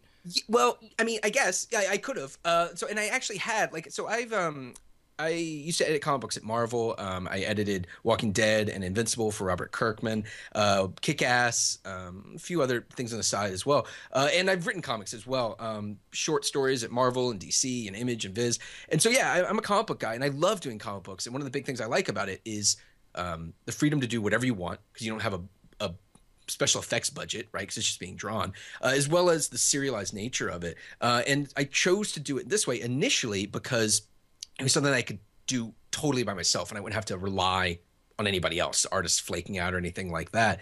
Uh, but then once I made that decision, I realized that there was going to kind of be a whole host of challenges and also uh, benefits from doing it like this. Uh, and so that's where the, the list came from. so let, let, let's get back to to where uh you know you you came from with the the editing of of comic books when you know we've talked previously uh there is a very uh, you know the comic book world is is kind of insular and and provincial and it is like at times hard to kind of get into a system where you can write your own story with the kind of freedom that you are doing with Skald. How much of those restrictions kind of brought you to the product that we just heard? Uh, I'm sorry. Uh, how much of like being how much of, of how hard it is to make the a, a, a totally free form comic book that that does exactly what you want especially even from your perspective as an editor of, of comic books how hard is that to get made Well, you know, it depends. You know, if you are someone who is a talented writer and artist, it's super easy because you just sit down and do it and you, and you post it up on the internet. And that's sort of where my my hurdle was, which is that I'm not an artist. and, and try as I might, I can't I can't do it. I can't do I can't do justice to the stories that I want to tell with my limited artistic capabilities. And so for me, it was very difficult because I would either need to get the money together to pay someone to do it. I would need to find someone who's willing to do it on spec. I just dropped out again, didn't I? Nope. No, no, no. You're still with us, and you sound great. I think he can't hear us. which oh, I think then is he an issue. froze. Oh. Well, that's well, we connect that. I think that is a very, very good point about sometimes we want to be we want to be in a medium, but that medium is collaborative, and we're not in a position to really have the kind of collaborators we want to work with. And the more you can do on your own, the further you can move that football, the better Skald off at the you're going be. podcast that Skype does not want you to hear. Ah, There we go. Skype tell you what you can listen to with your free time. Don't let them do it. Promo. Uh, so, so what we were talking about is the differences between a collaborative environment versus going on your own, and and it seems to me like there's there's a couple of different uh, periods as people develop artistically. Early on, it's great to go on your own because nobody can tell you stop. Uh, it, there are times that it's great to uh, you know collaborate with other people, and that you're able to make something bigger than yourself. But then. Um, you know, uh, uh, uh, Night Attack and uh, Cord Killers being shining examples to it, you know, you reach a point where it's like, you know, it'd be great is if we were doing this on our own, and you end up going back to it again. I, I, with my own experience in writing, is you know, there's the next Jessica Blackwood book with Harper Collins. It's going to be a year before that comes out. That book's I'm getting the first draft is done. That Yeah. has been done for several months. That's going to take a year for that book to go from you know from there to end up on a on a bookshelf, versus you know I sit down and I finish a book a couple weeks ago and I, I write down a bunch of notes on how I make it. I put out a book called How to Write a Novella in 24 Hours. And then I take that novella and I spend a couple weeks polishing after working on other stuff, and I put out that novella, and you can have that both worlds. And and I I love love love what Aubrey's doing here and doing this this serialized, continuized thing that is a podcast. Is it an audiobook too? Do you do you make let people I, buy? I have not. I have not. I've actually. Justin has actually urged me to do it. Uh, but I. Uh, but no, you know. Here's the thing, though, and, and I'll, I'll be honest with you. The reason I haven't done it, and I told Justin this as well, is I've gotten a lot better at doing them as I've gone on, and so I go back and listen to those early episodes. And you guys asked me, you're like, "Oh, should we put on the first one?" I was like, "Ah, no," because it's it suffers by comparison to the more recent ones. so And s- so I, I would want to go before I put anything together as an audiobook, I would want to go back and re-record everything, which I just don't have time for. right everything. No, I understand. I understand. We're not going to berate you, but like you should do this, do this. You're doing a lot, so don't don't feel like we're Oh no, like, no, don't worry. Don't. I've, I've, I've, I've berated him plenty. About Uh, yeah. I was about to say, dude, I will join the beration train if that's if it's like No, if there's somebody out there who wants to give you money, figure out a way to let them for give sure. you money. Yeah, absolutely. You know, it's it's it's on the list. Uh, but yeah, I've uh, I'm I'm a I'm a busy beaver right now, man. I got I do Skald and I also do a, a wrestling podcast that Justin's actually been on a So- couple. so times. yeah, I, I guess to my point was just to say that what you what you have here though is great because it is a that that single work can function as a podcast. You're putting it out in a ebook format. You have ideas for how you do a printed format, and then it can be it can be a audio book, which I'm sure there are a lot of people that want to do that. And you can either try to create a bunch of different works going different directions, but you have this. How many hours of this thing are there now? Oh Christ. Um, if somebody can help me with the math. I mean, like they each one. Oh, so oh yeah. So each one's about thir- let's uh, sixteen hours. Wow. Okay. Uh, so right now? already a novel length audiobook you have. Uh, yeah, absolutely. Yeah, I've got I've got a ton of stuff, and it's I mean, and that's one of the things that's been most uh, nerve wracking about it, but also great, uh, which is that it's a grind, man. I have to I write now. It's it started off at about twenty minutes each episode. Now they're up to almost forty, uh, and I so I write forty minutes of new content every single week, and also have to perform it in one take. So, uh, so it's it is grueling. It's really really brutal, but it's actually been a really great kind of serialized storytelling boot camp. You know, so I've worked in comics since 2004 in one fashion or another. So it's not like I'm unfamiliar with serialized storytelling and the tropes and limitations and things like that. Uh, but actually having to sit down and do it every single week, and um, sometimes it's you know you write yourself the cliff that you're going to jump off of before you know how you're going to land. Uh, but that's kind of what's thrilling about it, right? Is you seed things, and um, it's I've, I've learned an immense amount from doing it. So one of the things that uh, you know we we talked about was the fact, as you touched on, that you record all of this in one take. As somebody who has recorded audiobooks, long form audio content, I find this to be uh, at, at at its most charitable, uh, an act of self harm. Yeah, it's Why psychotic. are you, Why do you want to punish yourself? I'll tell you, man. Uh, the the the answer is really simple. I I- started doing it, and I started doing it in one take because the whole idea was that this is oral storytelling. It's not a, and I, I in some of the intros, I actually draw this distinction. I say, listen, this is not an audiobook, right? This is not something that uh, I I I wrote for uh, you know as a novel, and then it's it's recorded. It's also not a radio serial. You know, it's not um, wacky voices and sound effects and music cues and different actors and things like that. This is an oral story right? And it- it's done in the fashion of Scandinavian bards named Skalds. Uh, those guys, what they did, they didn't get multiple takes, right? They it, it was a whole, right? It, it was it, they didn't they didn't build a thing piecemeal and then put it all together, right? They they created a full story, and so doing it that way, I think, brings an integrity uh, to the work um, that. It, it's like added value to me, So- you know. It's it's something to help set it apart, uh, and it's and it's something that it I, I'll be honest with you, it was brutal at first. Uh, like the first couple months, I just I thought like, what have I done to myself? Like, how do I? Like, like after having made such a big deal out of the fact that I do it in one flawless take, and like that was like the that was like the selling one of the selling points for it. After making such a big deal, like how do I walk this back and start editing it together?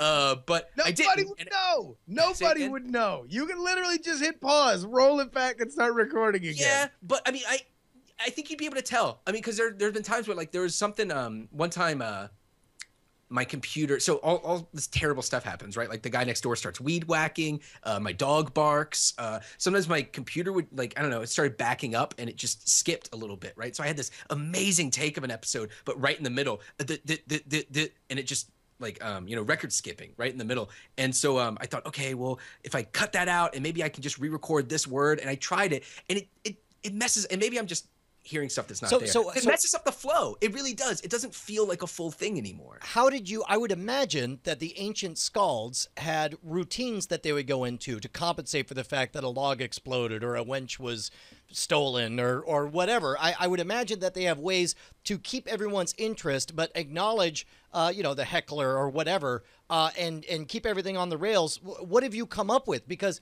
I refuse to believe that you do all 16 hours without a single misspeaking moment. oh well i stop and i start over again if i do Yeah. No, he does. He does it over. So he's. I do it. I do it again. I mean, if the dog, if I'm if I'm barks 35 and he minutes in to a 40, 40 minute episode and the dog barks, I stop. I go get a glass of okay, water and I start but, over but, again. But in my mind, and this is just me, you know, uh, uh, trying to be overly self-deprecating, I just assume I would instantly acknowledge the dog bark and be like, "Ha, "What can you expect? I'm here recording this all by myself." So anyway, and then go back to it. But you It's don't like do the any Kevin of that. You- Smith podcast. Shaggy, yeah. Shaggy.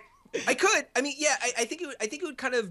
I think it would be a different vibe. You know, what I what I do with Skald is I really do want it to feel um, immersive, right? Like, and I want to. I want people to feel like they're in that world, and so I don't want to break. I, I don't. I don't. You know, I have an intro and I have an outro, but I don't break the fourth wall. Other than that, Wow. That's amazing because to me that would be the way I would sell this is is have the beginning of every episode. I mean it's uh, not not to, to reduce your podcast to a gimmick because I know it's an epic story, but but that's a hell of a gimmick if you want to get somebody to listen to the first episode is explain also it's all done in one take. For sure. I mean, and that's and that's I mentioned it at the top of every episode for that, that exact reason. It's something, Oh, no, it's no, something no, difficult, that- but something I'm super proud of. And it's not, you know, there are a lot of we're kind of in a renaissance right now of people doing these serialized podcasts, right? And most of them though are these radio serial type things, and most of them are kind of pieced together. And so this is something that sets Skald apart. It's it's not a cast of people. It's just me. I write it, I perform it, and it's one go. Man. Uh, I have a question for you, sir. Yes, sir. Um, your very very popular rest. Your the uh, I believe Straight Smartest- shoot. What's that? It's called Straight Shoot. Yeah, the, so you the quote the world's smartest wrestling show on your Patreon. You start there. You have a dollar level, and you move on up. For Skald, you start at was it like six bucks? What was your thinking on how you were pricing your different Patreon levels? Sure. You know, um, the Skald, pa- I mean, the Straight Shoot Patreon is much more popular uh, than the Skald Patreon, and Straight Shoot's been around longer. And I started with more of a baked-in wrestling audience because I had worked. I had prior to this, I had worked at uh, both 2K and THQ, working on the WWE video games. Uh, so I had a so I had a, uh, an audience that was ready to consume straight shoot and so um, as straight shoot has grown i've added more reward tiers uh, truthfully the real answer though is it's, it's two part one is that i don't have as much sh- swag uh, swag and stuff to give away with Skald as I do with Straight Shoot. So it's harder for me to find those reward tiers. Uh, and also, it's kind of just a little bit of trial and error and finding out what works. And it's a very different audience than the Straight Shoot audience. Um, and so I've seen I've seen people talk about best practices for Patreon and say completely opposite things. Some people say, you know, you want a ton of reward tiers so that you can hit everybody, right? And if you know, Mm-hmm. if somebody's given two dollars, they say, oh well, no, I may as well give three dollars. But I've seen other people say, no, you want to limit it so that and to just the the um, to the big rewards and have them separated so that it doesn't overwhelm and confuse people when they look at it. So uh, a lot, some of it's trial and error, and some of it's just me not having as many um, things to give away for Skald. It's interesting. Yeah, I, I, I'm I'm very much a novice in this area compared to you know Brian and Justin and some of the other people that, that are really actively involved in there. And you know, you look at you can you can study a lot about Kickstarter, but as we've been watching through Justin's experience with Kickstarter, it's a great way to launch a business. But if that is your entire business model onto itself with Kickstarter, get ready to break out the credit cards and you know Well, planning. which, by the way, you, you recently saw, you know, Roman Mars launched uh, Radiotopia, uh, the folks who do the 99% Invisible podcast, and it was the big deal about having a Kickstarter, and they blew the doors off. It was one of the biggest Kickstarters of all time. And then, sure enough, less than a year later, they're all like, eh, it's another Kickstarter because we want to do even more, question mark. And then very quickly they figured out, they're like, yeah, this is not sustainable. We can't keep doing Kickstarters. And now their big drive is about people uh, signing up to be uh, recurring donors, and they figured out rewards that are specific to uh, people who are, are kind of ongoing members in their in their party. Well, another big thing for me comparing Kickstarter to Patreon, and this is one of the things I really like about Patreon is, uh, and this is anecdotal evidence for sure. It probably has a lot to do with the type of Kickstarters that I've contributed to, but I've never contributed to a Kickstarter that did not disappoint me in some profound way. Uh, whether it's whether it's things not happening, whether it's things not happening on time, whether them being lousy when they got there, whether it's me later reading reports of collaborators not getting what they were promised. You know, I, I am always disappointed. And the reason you're disappointed by Kickstarter so often is because there's no accountability on any side, right? You just give people this money and fingers crossed, hopefully this thing happens.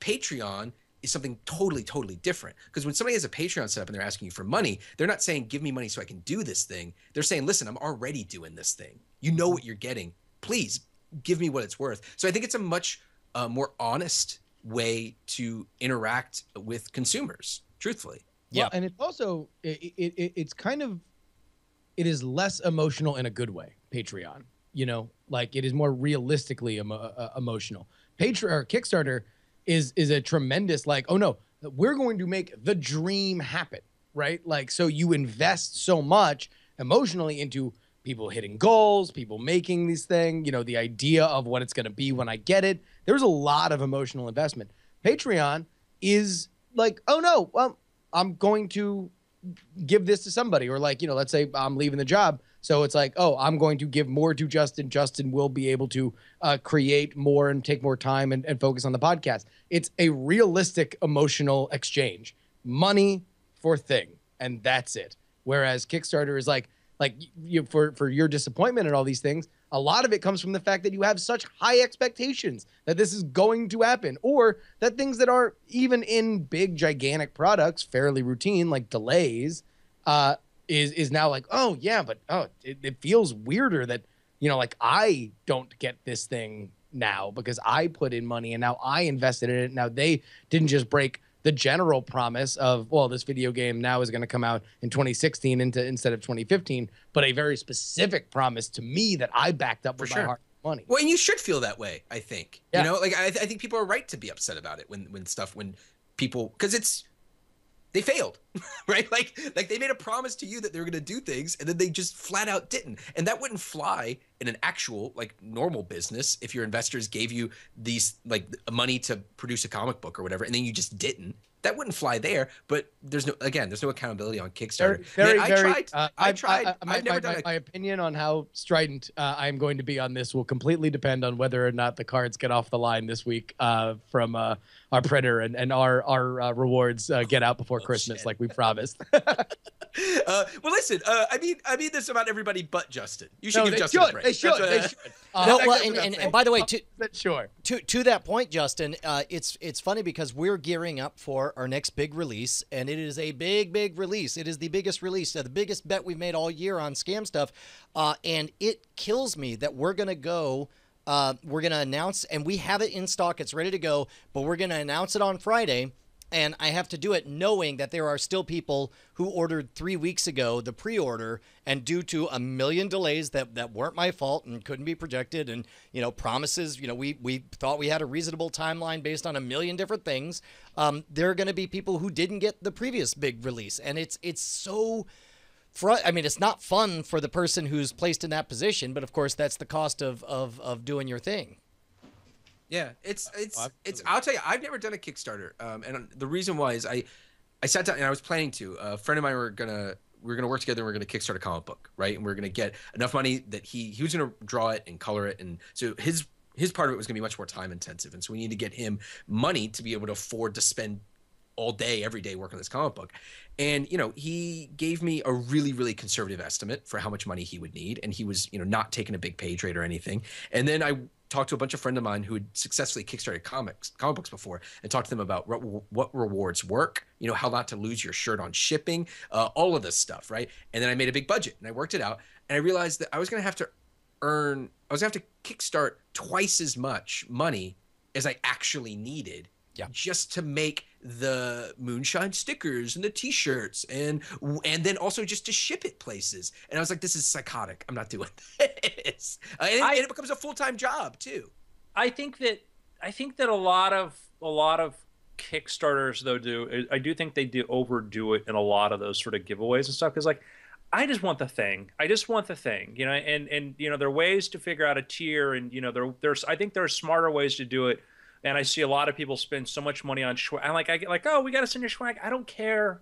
I don't care. I gave you a hundred because I really liked the idea or whatever. And I think that's one of the problems. And it's it's also i think comes from sometimes an insecurity in the product. But you know another another failing point of or point of failure rather for for kickstarter stuff is like you you have this where one person says yeah i can do it. And then the unsaid the unsaid asterisk is yeah if i don't have this job if i still don't have a job by then. And then you're like hey we're funded. And they're like yeah you know that's great but you know i got i got this. And you're like uh, you know that's why uh, working with collaborators and other people is nobody nobody will ever have as much skin in the game as you do and if we're online and we're creating stuff we're pretty flaky to begin with let's be honest Well, and and and you've seen that a million different uh, a million different times in a million different ways. You know, I think that was the the a similar story to um, the, uh, the the the the Yogs Yogs cast guys, where they were like, "Hey, look, uh, we have a passionate fan base. We're gonna build a game. We've talked to this person.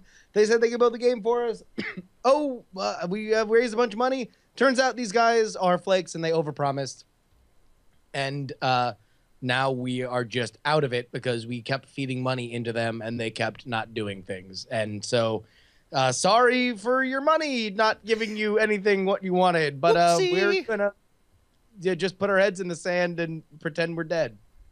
Yeah and I mean, to, to, to walk back a little bit from my my stridency earlier, you know, but there are degrees, right? Like when I, when I talk about not getting things on time, I'm talking about the animated short Kickstarter that I contributed to three years ago and still has not surfaced, right? I'm not talking about like a couple weeks here and there because shipping delays, I totally get it. But you know, Oh, there's like oh, a there's there is a kind of um mentality with a lot of kickstarters i think and people who do them that once they get that money it's found money and they just you know i'm the artist and i do whatever i want. Uh, then you know and you were talking about like people online like creating content being flaky. Like i try really hard not to be because i treat it i treat it like a business. Like this is this is my business and if you're giving me money i owe you at least what i promised you at least you know? Yeah. I I come from you know my background of, of writing magic books and doing that, and I knew of I there were a couple times where you'd see people who would with names would say, oh, you know what, I'm going to do that, and they would announce a product they would pre-sell the product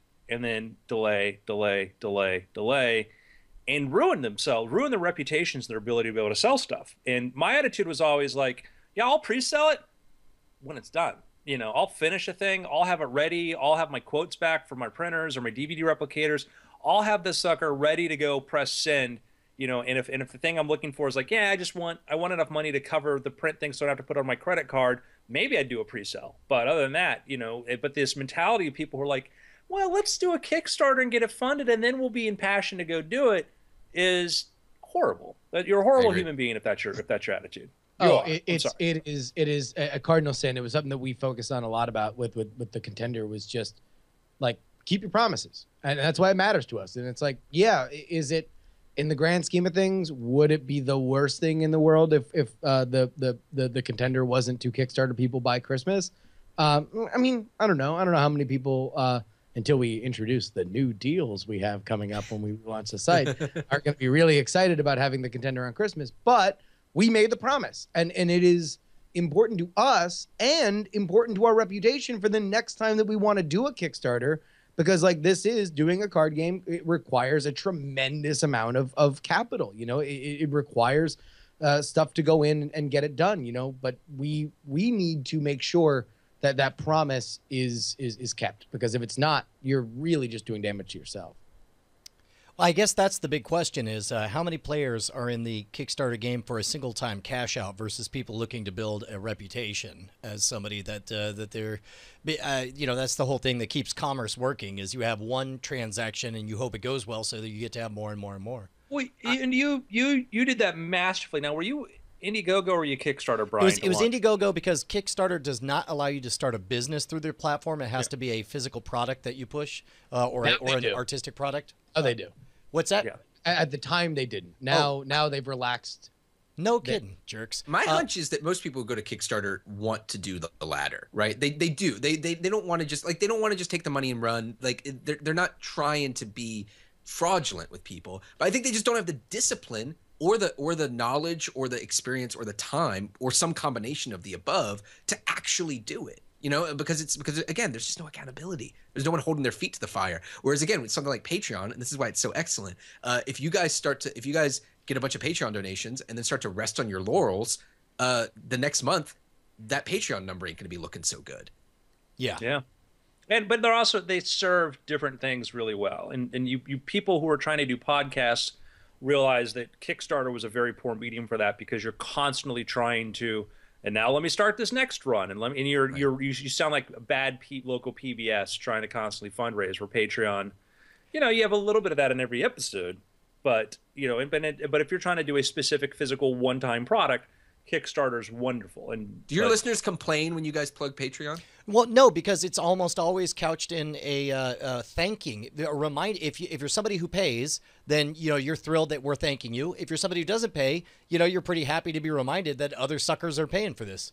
I uh, I put my my I don't get it with Skald, but I do get it with uh, Straight Shoot, my wrestling show. I think that's a big part of that is because I put it on YouTube and people will stumble across it via search and keywords and things like that, and they hear me plugging Patreon. And there's so much free content. There's so much like wrestling chit chat content on YouTube that people are kind of taken aback. Uh, but a friend of mine who works in, uh, he's a fan, he's a listener, and he sent me an, like an unsolicited email full of advice about fundraising because that's what he does for a living. And he told me, listen, I know people complain and they piss and moan about you plugging your Patreon and saying you do it too much or you're too hard or whatever. Uh, he said, here's the thing: if they're if there are people who already pledged, they understand because if you don't plug it, then they don't know about it. If they're people who aren't pledging and they they've decided they don't want to pledge, well, they're not really your audience anyways. Screw them. They're not going to pledge no matter like like they're not going to like if you don't plug it, they're not going to magically start pledging because you didn't plug it. Right, right. So no, no, it's, that's, it's, it's, it's a weird mentality. It's like a weird thing. Like it's a weird thing to have to like let roll off your back all the time. These people complaining that you're asking for money, but it's just kind of the nature of creating content on the web in 2015. I mean, I, I think that that's also just uh, that is a very wrestling fans. unfortunate and weird part of the YouTube culture. Is this idea, uh, you know, about like e-begging, right? Like that. That was that was a, a a thing that was a very big part of like hey, I, I like doing these, but uh, I would also like to make it my job. So if you would like to, if you agree with me, here's my PayPal. You know, if you'd like to PayPal me money, then you can PayPal me money. And that was looked down upon as like, oh no, this is eBay. Well, I I work a job at uh, Arby's, and and Right. you know I would love to do it too. Why don't you give me money? Because the the relatability of internet content kind of ran headlong into this uh, self-loathing complex of people who don't, you know, follow their, you know, who don't put the time and effort into creating the content that they want to do. Uh, now, Patreon has done a great job of normalizing it, and uh, it's so funny that it, it started out very much as a YouTube. Uh, it was you know, founded by YouTube people and had a certain degree of success, and then wound up getting into podcasts where people did where that culture, podcast culture, did not have a problem with people monetizing or people getting money, uh, and all of a sudden it kind of grew, and it's like, and and now that it's a name, people are like, oh, okay, yeah, this isn't eBay. I'm so This isn't- thrilled whenever I see any any anything anyone go like set up a Patreon campaign uh, because it does exactly what you're talking about. It normalizes it. Because before like so I've been using Patreon for uh, I don't know since like early 2000 uh, 14 right? And um, at the time nobody knew what it was right and it, was a really it was really really difficult to educate people uh, to that they should go to this site that they should put their credit card in they should set up an account but the more things that are on there the easier th- that hurdle is to clear of actually going over to patreon and giving some Oh, money to somebody Absolutely. It was funny. Like Neshcom pointed out in the chat room says Indiegogo still sounds sketchy. I agree. Like Indiegogo, Brian's you know is an outlier where he had a specific case where it was not going to work on Kickstarter. But I've seen a lot of people that go like, yeah, we don't like the rules on Kickstarter, so give us our money over there on Indiegogo. And like my impression of Indiegogo is like, oh, it's going to be half baked. Versus, you know, Patreon, as you say, the more people use it, the more people understand it. And I'm explaining this to people all the time. But man, like it's funny. Like I put a I put a tweet out and I said, uh, if you love if you love something, set it free. Then go to Amazon or Goodreads and write a blurb about it. Um, and then I put hashtag hint. And I get one guy who's like really begging for reviews. And I'm like, well, I didn't say my book. And two, and I, I started this exchange. I said, I said, well, I said, you know, it's part of promotions. Like, you don't need to do that. And I looked, the guy's got four subscribers to his YouTube channel Oh, four subscribers. And I'm like, please give me more secret, advice right? on how I can run Yeah, this yeah. thing like you are. And you know, it's that it's that that fear that when do we push it too much? Like every time I used to be every time I sent out an email and I'd see the unsubscribes, I took every single one personally. But then I thought about all the times I unsubscribe from stuff because I just don't have time to look at it or it's not really my thing. And it's not like I almost want to say like, hey, you're doing great, but I'm not into this thing right now. You know, um, and I realized if I'm not getting unsubscribes, I'm not doing enough to promote. And you have to certainly, you know, I've never had another creator tell me you're pushing too much. right You know, I never, I- never I had a I never, I never had a there's, like, successful really- creator this- tell me that. this stupid sense of false modesty of like oh well don't don't promote your stuff and don't retweet good reviews and blah, blah, blah.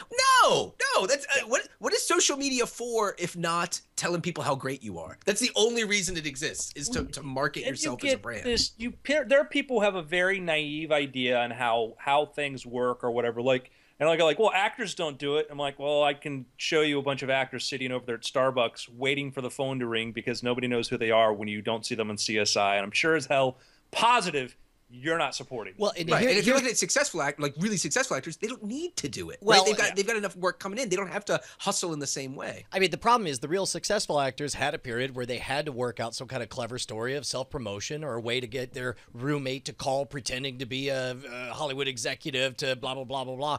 Um, I mean, the truth is, all these folks who are and they're super. paying just to interrupt you for a sec, and they're paying publicists hundreds of thousands of dollars a month to keep their name out there and to promote them and to do this that you're not even aware of. Like, wait, why did this item end up on TMZ? Right. Why did this end up in People Magazine? You know, Uh, why well, was this the- there? And the problem is, is once they get over the hump and once they are successful, it is in their best interest. The game theory says now you pretend that you never participated in any of that, and you sell this BS narrative that you were discovered and it was your talent that got you to the top, and then everyone will agree with it. Uh, this is the first time that we're watching everything happen transparently, where everybody can track. They can see, like, oh, here he is self-promoting himself.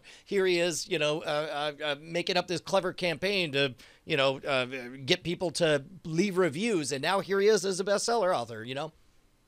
I mean, I, I have had more people that I would that I would think to be important to to me as listeners, viewers, readers, right? That have said, "Why don't you tell me that this thing is happening? I didn't know that this thing was happening. I didn't know that you had, uh, you know, a, a political podcast or you had Night Attack or that, like, you know, uh, Brian and I left uh, a network and changed the name of the show, and there was nary." uh, but the normal six days between episodes of the old thing and the new thing, and still we get people saying, "Oh wow, I didn't know that you guys had, had stayed together after uh, uh, NSFW show." Despite the fact that the last episode of NSFW show, we said we're doing a new show called Night Attack. It'll be here, and here is where you can go ahead and sign up to the RSS feed uh, or, or subscribe on iTunes. You know, it, it, it's it's it- it is more important that you let qualified audience know in the mediums in which they pay attention to that something is happening than it is for somebody to just be like, oh wow, they sure are letting everybody know about that. Yeah, man. Uh, uh, it's um, uh, th- there was this one kind of biting tweet from Sarah Silverman, and it was one of those things that kind of cut me to the quick, where she says, "Dear celebrities who retweet nice things people say about you, why do you do that?" And uh, and it was just sort of like like oh that is what celebrities do, and it is tacky and whatever. But then it's like I'm overwhelmed with this like because we have to because Yeah, because no, it's the only way we she? keep food How on the table. she, who has crazy successful career already start telling other people, "Oh no, no, no, you shouldn't be doing this stuff." I mean, and the reason the reason to answer her question, it's oh well because it teaches people that first of all it lets everybody know that people out there think you you're great, and also it trains people to know that if they say something good about you, they'll get retweeted, Bing, and bing, then bing. they they want to get retweeted by you so they say more good things about you which sees it, it's it, it builds on itself. How dare she? That's disgusting. It- so it's- furious. And i it's like sarah people- silverman but that's It, can i swear? Yeah, uh, sure. that's bullshit right there, that is there bullshit. are people how dare that she? don't know they have no idea how they got their platform that don't appreciate how they got their platform and then go well well you know and there are two sides to that too but it, it is it is certainly frustrating to people like oh why do you do this like well you know you you're she's a very talented person but it's she's but great it's also she's great but she's already been successful so she Oh, I know, and it's like, that stuff. yeah, you know But what? people if do. I'm going to be on Jimmy Kimmel next week, maybe I won't need to do that as much. Yeah. you know. Although I don't, I don't know if I Or, ever or, or on retweet- Jimmy Kimmel for several weeks. I yeah. Or, Yeah. Uh, well, the, uh, so the uh, uh, inside, yeah, there. here's Um, here's w- w- one of the aspects that I think is too important to remember is psychologically there's a you know there's a few psychological backdoors that we all fall for. One of the most powerful of them is the idea of social proof. Social proof is I define what I'm doing as normal or not normal by the actions of other people and the approval there, thereof. So it's why we have Yelp reviews. We feel safe going to a restaurant because a thousand people have voted it at four and a half stars. Same thing with Amazon reviews. It's the reason that that McDonald's lists billions and billions served because you think, well, maybe if it's bad, at least I'm not the only one making a bad decision today. Um, and and it is a powerful force, and I don't see uh, in today's 21st century, if you're if you're an upcoming artist or entrepreneur, I don't see I see it being as irresponsible to not take responsibility for for for helping to sculpt your own social proof around your Yeah, I product. mean, and there's everybody has their own mission. Like I don't know that I've, I don't know that I like retweet compliments because I'm I retweet still. every compliment at Aubrey Sitterson. What- Every single compliment. Give them to me right now. As soon as the show is over, I'm going to retweet every single compliment I find. Yeah, there it is. Every single one. A U B R E Y S I T T E R S O N. Every compliment. I uh, maybe Well, if that's I a ever get Mark some, Henry I with will. a minion. Maybe Yeah, maybe I will if I get some, and then I will. Um, but Well- it, it's interesting. But on the other side, I get an email. I have a I had like a tweet like, "Hey, I need your agent," and I go look at this person's tweet thing, and it's like, "Hey, uh, Brian Grazer, read my script," or "Hey, read my Bible." Read He's asking everybody, and it's like, "All right, dude, Yeah. you're you're gonna make it onto the do not go list. You know, you're you're, and it's this. Hey, I'm ambitious. I'm pushing. It's like, all right. I'm not to be this person like, oh, you know, work hard like everybody else did or whatever. Like, no, but By the way, by the way, as if as if on cue, just this second during this conversation, the the great podcasting legend Dan Carlin, whose whose hardcore history and and uh, common sense podcast are the closest thing I could think of to the extemporaneous speaking style of Skald, just retweeted somebody randomly shouting, "Listening to my favorite podcast, Hardcore History. Check out this great podcast uh, with a link to it and everything." And if it's good enough for Dan Carlin, it's good enough for me. Yeah, some weirdo just complimented me on Twitter too, and I retweeted it. but I don't know. Yeah, that's a weird photo. Uh, but no, here's the other thing too is so I used to um, I used to really revel in just just mixing up and just being like uh just being clever and going back and forth with people and uh, rat a tat tat on the internet. And I had, uh, especially during like wrestling shows. And so I'm not to get deep in wrestling stuff. I although I know Justin would love it. Uh, but I had like a, I had a um a GIF or or not. It wasn't even a GIF. It was um it was just an image of like a hand jerk off motion, right? And whenever anybody said anything just profoundly stupid and awful, I would retweet it with that. Like when they were like yelling at me or telling me how awful I was. But then one time I went to my Twitter page and I looked at it and it was nothing but hand jerk off symbols and then people insulting me and saying how awful I am. And I, and I looked at it, I'm like, you know what? This isn't good branding. This isn't this isn't real good for the Aubrey Sitterson brand. And and that's exactly what it is, man. If somebody goes to my Twitter page, I want them to see people talk about how amazing I am. Not, you know, like and so of course I'm gonna retweet people. I, I oh, don't have a single negative exchange with anybody. And I had like two weeks ago, somebody You should start watching about, wrestling. You'll have nothing but negative exchanges. No, no. I have people who say negative stuff to me, but I don't. You don't get that response from me. You know, I, I, I won't. You know, be like, oh, you're an idiot or whatever. Like, all right. Anyhow, I've had people like ask me about religion. I'm like, well, I don't think there's a God, but there's this point of view and da da da. Never. I never go. I never go negative. But I can. You can call me anything in the world. I'm not going to respond. I'm not going to point out the grammar or whatever. I'm not going to make fun. I just don't do that because I'm a very different brand than somebody talking about wrestling, to be sure. But I just, I will not. You can call me anything you want in the world, and even if I have a sarcastic response, I will not use it on Twitter because my brand is. You look through there, and the the controlled version of me is a very nice, even keeled guy. you know, the person talking about Mars, you know, and you know, space elevators here. Oh, first one. No, I, I- I think, but part of it. I mean, there there is an art. You know, I, I think that there there is there is an, a, a- a way to do it. Um, you know, in terms of, of, of getting the word out for yourself and and and, and retweeting compliments. I, I think that there there's a uh, like like in anything a, a optimum time and a place uh, to do it. But you know, when it comes to I don't know. I mean, for me, I always found that whenever anybody said something uh, uh, lousy about me, the best way to to, to kind of uh, short circuit it is to jump behind them and yell louder about what they're saying about me. It's just like it tends to take the fun out when they're like, I had somebody because I constantly have typos in my in my tweets and and you know so somebody wrote uh, to me, uh, uh, why when will you tweet something that we can actually read? And uh, I was or like, or why why don't you write anything that we can actually read? Something like that. And it was just like, I don't know, my public school education, I guess. Like, you know, it's probably Oh, and you know what? The stuff for like the little zings like that. You know what I do with that? yeah. I star it or heart it. it's, just, it's like because that's my way of saying You got me. I read what you had to say. Uh, I'm a big I don't know. fan And- of. And listen, and listen. It it there is even for us as creative professionals that put the word out uh, on on our own stuff and work really, really, really hard.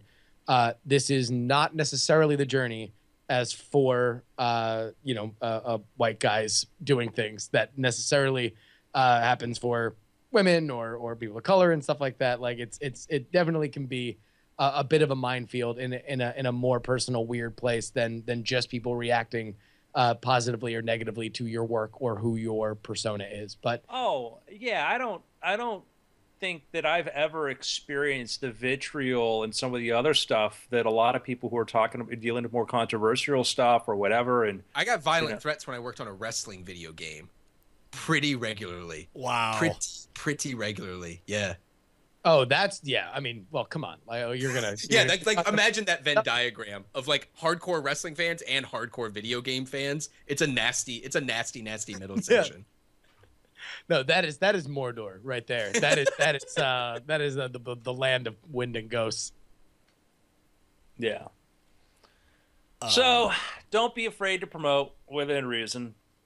Be mindful, but you know they're listening to old media people tell you how you're supposed to do it, or people who have you know people have platform. It's funny because we've talked about this before about you know uh, Louis C.K. is an amazing, hardworking comedian who's done amazing stuff, but you know when he goes off and he does his comedy album, know, comedy video and releases it on his own.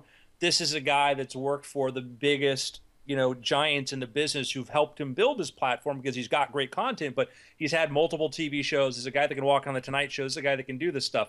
Yeah of course he can go do a really top selling video download thing which guess what? People were doing that 10 years before but it was it, it, it it's great to see somebody like that. This was what four years ago when he did that? You know embracing and legitimizing the system but often people are judging judging you by where you know people who have totally different platforms. You know, Absolutely. So- Uh, hey, real quick on picks, if you uh, liked the idea of the value of uh, of social proof, uh, read Robert Cialdini's uh, classic book Influence. Uh, that's one of the whole section about that and what he's able to convince people into doing based on social proof.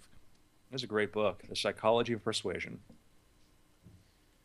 Uh, uh, my pick is uh, Aubrey's other podcast, Straight Shoot. I'm on it this week. Uh, it is a a if you are into wrestling and you listen to wrestling podcast and you're like, man, 90% of this wrestling podcast is people bitching about wrestling, and it just sounds like you know a uh, a, a constant audio book of somebody's suicide note to their interest in professional wrestling. Then you will love Straight Shoot. Aubrey is very very smart.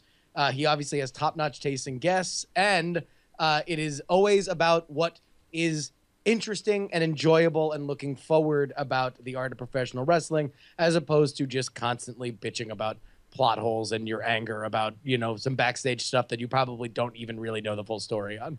And I'll say this too, man. Uh, this past week's episode that you were on, you came on and talked about Hood Slam, which is an independent wrestling promotion near you. And uh, I have like, I don't know if you're getting kickbacks from Hood Slam or not, uh, but you should be because I have gotten like so many of my listeners have messaged me or emailed me or left comments saying that they are completely sold on Hood Slam and want to travel to the Bay Area, or if they're already there, go to the next one definitely. So you, You you you're doing God's work, Justin. Find me at ringside. Buy me a beer. It gets a little thick crowd wise, so I'm gonna need somebody to to just shuffle me uh, shuffle me a beer mid uh, mid card there.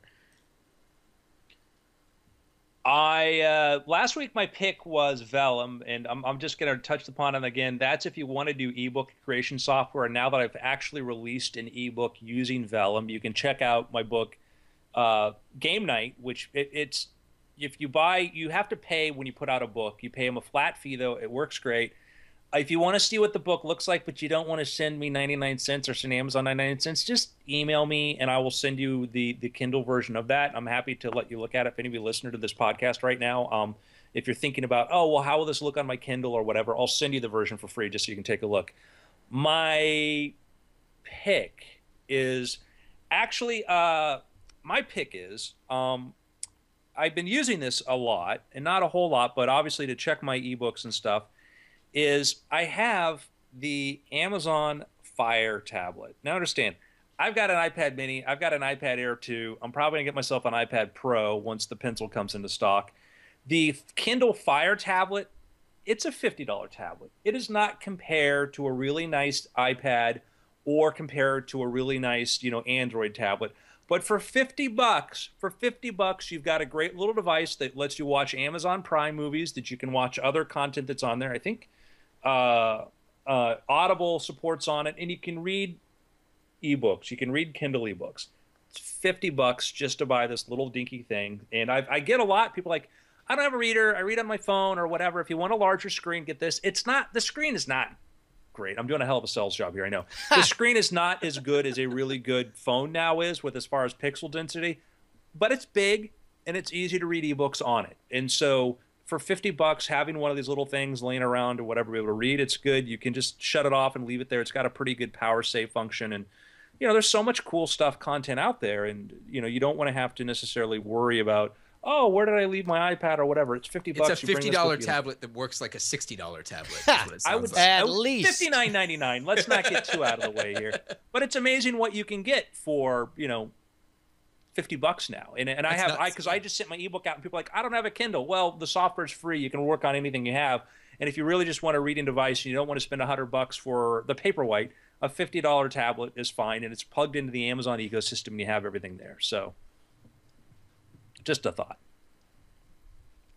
Right that on. sounds like a hell of a deal. It, it is amazing how how cheap how cheap these things have gotten though. It, it is it is absolutely uh, uh, crazy, and the functionality of like, you know, a lot of people have Prime now, especially if you have Prime. The value uh, that you get out of that device just skyrockets, right? The, even if just like if you carry that, throw that in your bag, right, and your iPad dies, and you can still watch, you know, whatever Amazon show or movie that that you want. You know, just as like an extra thing with an extra battery. It's super rad. It's funny. The, these things are so cheap. Uh, they sell them in six packs. You can buy Yes. six Oh, for the price brilliant. of five, Dude, and I- that's cheaper than an iPad. I mean, you, you, you, you. Uh, to be honest, if I did not have a tablet as a family of five, uh, Okay. that would be a slam dunk. Everybody gets fires. Way. Yeah, I, it's. I, I I'm using it all the time to check formatting and stuff on my ebooks. I'm like, oh, I'll just pop this up and see how it looks there. And like, oh, okay, this is what it looks like, and pop back there. And you know, I don't, I've not tried to read anything at length on that screen, but it's not, you know, it's see, it's all blown out. But Uh, well, there we go. Amazon. Right on. Guys, it's been after Fleck. Coolio. uh, so we were talking about Patreon, and in the middle of looking at it, um, I called up the Night Attack Patreon, and I was confused by the number, and then I hit refresh, and we went from a low number to a high number, and then we went down to a low number again. And there was a brief period, and then I jumped over to Cord Killers and checked that, and I think just during the last 30 minutes, they changed Whoa. their their things. Oh, oh, oh, yes, yes, yes. No, there's an email. Um, Okay, because you here, what? look at here. Sh- show this right here. Right now, it shows 1773 on on this. Right. Hit refresh and watch what Oh. happens. And so I just, but well, I had this up with the straight shooter, and it said eighteen hundred per month, and then I refreshed it, and now it says sixteen. Wow, what the fuck? Really? It's like, okay, okay. So here's what's happening. I was just at it. I was just Yeah. Patreon does this stuff. It's it's a great platform, but it's got a lot of wacky things Okay, going okay, on. okay. Well, let's so keep talking they- over Justin so he can't explain it, guys. yes. So uh, uh, they sent out an email um, that uh, there are a certain select number of Patreons, uh, and who knows how wide this is. They made it seem very exclusive in the email. Uh, Ashley's is, is saying uh, hers too. That uh, they are trying to get a more actually representative number up there Good. You know, uh, the, compared to what they had before, which often included uh, cards that they Declined knew were cards, dead that yeah. they've already tried to charge. or pledges that were going to be over their their monthly amount or whatever. Uh, so this is a more accurate version. Skald, Uh, uh, Skald went up though when I refreshed. It yeah, up. it's weird, man. It's very it's very strange, and like, and I don't think that's the entirety of it, Justin, because like I go through every month with mine, and anybody whose card has been declined two months in a row, I delete it. Yeah. I do that manually. Oh, manually. yeah, yeah, yeah. Well, no, uh, also at the very least, it's also I, th- I believe it's Sans Patreon's cut. Uh, oh wait, it It's just just, happened. it's flipping back and No, forth it's just now. a, it's just a it's just a screw up, man. It's just like a weird inconsistency. Oh no, no, no! I mean, no, no. it's I mean, like, for uh, they- months. that- like, like, this is a thing that they have uh, said that they are that they are implementing. Yes. No, this was an email saying that this is going to happen. Please be aware that there are changes to how we are going to show publicly what you are making. yeah. Well, you know what? That makes sense too because they uh, they also for the first time they wouldn't release funds until I filled out a fistful of W nines for all this stuff. Um, yeah. Hey Brian, I loved you on um, you were not so smart.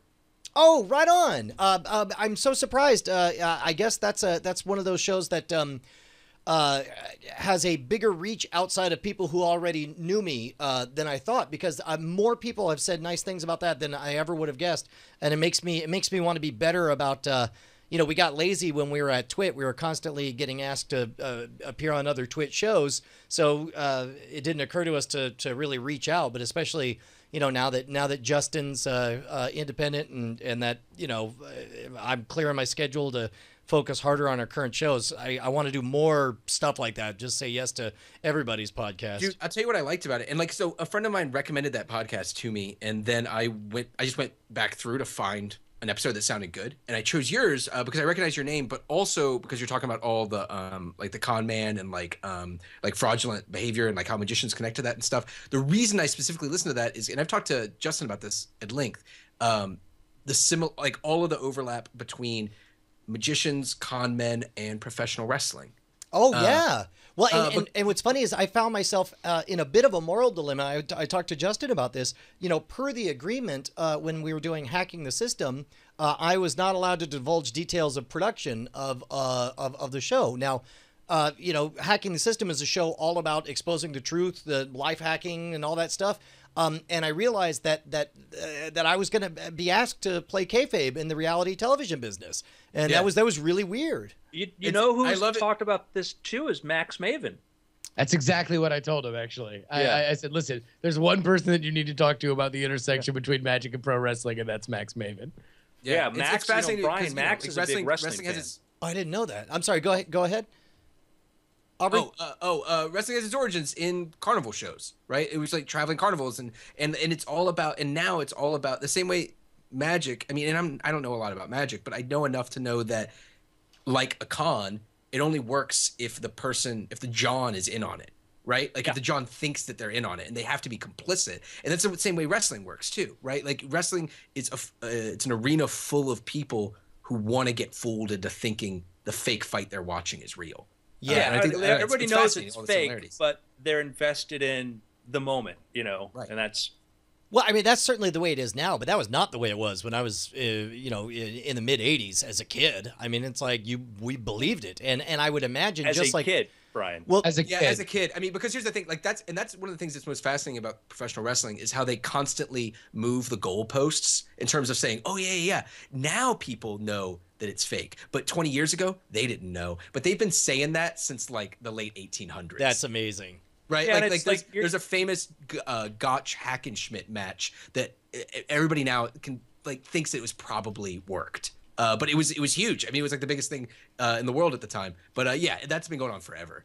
Yeah, and, and Well, it's there- the, there- the the there's always going to be an overlap of how many people think magic is real, the stage magic is real, and you'll get that overlap like, oh well, that was real because he was really upset on stage, and then he bought. It's like, all right, if you think David Blaine is real, and you also think John Cena is the greatest athlete in the world, you're probably the same person. uh, You're not yeah, a big I mean, Cena there's, fan, but we'll we'll let that one slide. Uh, I- I- I- listen, if, if, if there's one person who doesn't know how to pronounce his name correctly, that's that's probably a step in the right direction. uh, there, uh, you know, there's there's a great. What great did I say wrong? Senna, uh, Cena. It's, It's Cena. not- Joan. I know it's Cena. What did I Joe say? Why are you? You said Senna. Senna. Oh, sorry. I Definitely was very Senna. That's fast, guys. fine, I watched the fucking documentary on him. I knew everything I needed to know. Hey, Jesus. his name is John Cena. Um, so, uh, but yeah, no, there's uh, Brian. There's a, a great and, and the audiobook's really really good too. Is uh, uh, who a, a guy who's been on uh, Aubrey's podcast, uh, David Shoemaker, wrote uh, the the Squared Circle: Life and Death in Professional Wrestling. That uh, to address your point, uh, his opening paragraph is uh, about the, the the machine angle. So these people were getting banned from uh, you know the, the the federation, and uh, you know, and then all of a sudden they would all just come back as uh, uh, you know a, the masked like machine version of themselves. Got it. It's like you know nobody believes that like the the the masked uh, you know gigantic muscly machine that uh, has Hulk Hogan's hair spilling out the back of his mask or giant machine who looks exactly like Andre the Giant with a mask on isn't what that is, but they are in on it. Everybody, you know, you know the, the, the point of suspending your you know disbelief uh, is is has always been there. What people point to now as like, oh well, look at the 70s and 80s is like the riots that would be started, you know, when somebody lost or somebody lost in the wrong way or uh, you know that somebody was so despicable that people wanted to take things out on them. But my answer to that is like, hey, listen, uh, if if you could uh, immediately take physical retribution uh, on uh, on on on uh, Joffrey for lopping off Ned Stark's head, spoiler alert. Uh, I think that there would be people who would be very, very angry about that, who would probably react in a way that would make you say, "Oh, come on, guys! Do you think this is real?"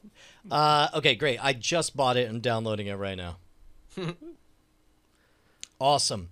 Awesome, awesome. Uh, all right, gentlemen, that was that was so good. Aubrey, thank you so much Hey, uh, for joining having us. That me. I was hope I that was okay. amazing. I uh, I don't know. I'm, no, I'm always you you're you great. were amazing. You you have Awesome. an Thank you. open door invite at any point. Please join us. fantastic. Thanks for having me, fellas. This is super fun. Are we are we good? Are we off? Uh, We're we're still live streaming. Yeah, you not can curse. Just you know, if just realize any racial slurs you drop. I've been holding that in for two hours now. Uh, no, this is super fun, guys. I'm gonna run because I think my wife's waiting for me to take the dog for a walk. Uh, but uh, no, I would I would love to come back sometime. And if you guys ever want to watch, I mean, do you guys have wrestling familiarity? I know J- I'm talking to non Justin right now. Uh, non non Justin. Uh, According uh, to I know Justin, I Justin. I know Justin does. That's to why Justin. called no, no, no. I It was it was it was Aubrey that pointed out the Senna thing. uh, It's all right. It's all right. None. None at all. no, I uh. Uh, I uh, uh, uh, had a had a, a deep passion when I was Go a kid, but I've enjoyed everything. It's all right. Sorry. No nothing. I Passively. know nothing.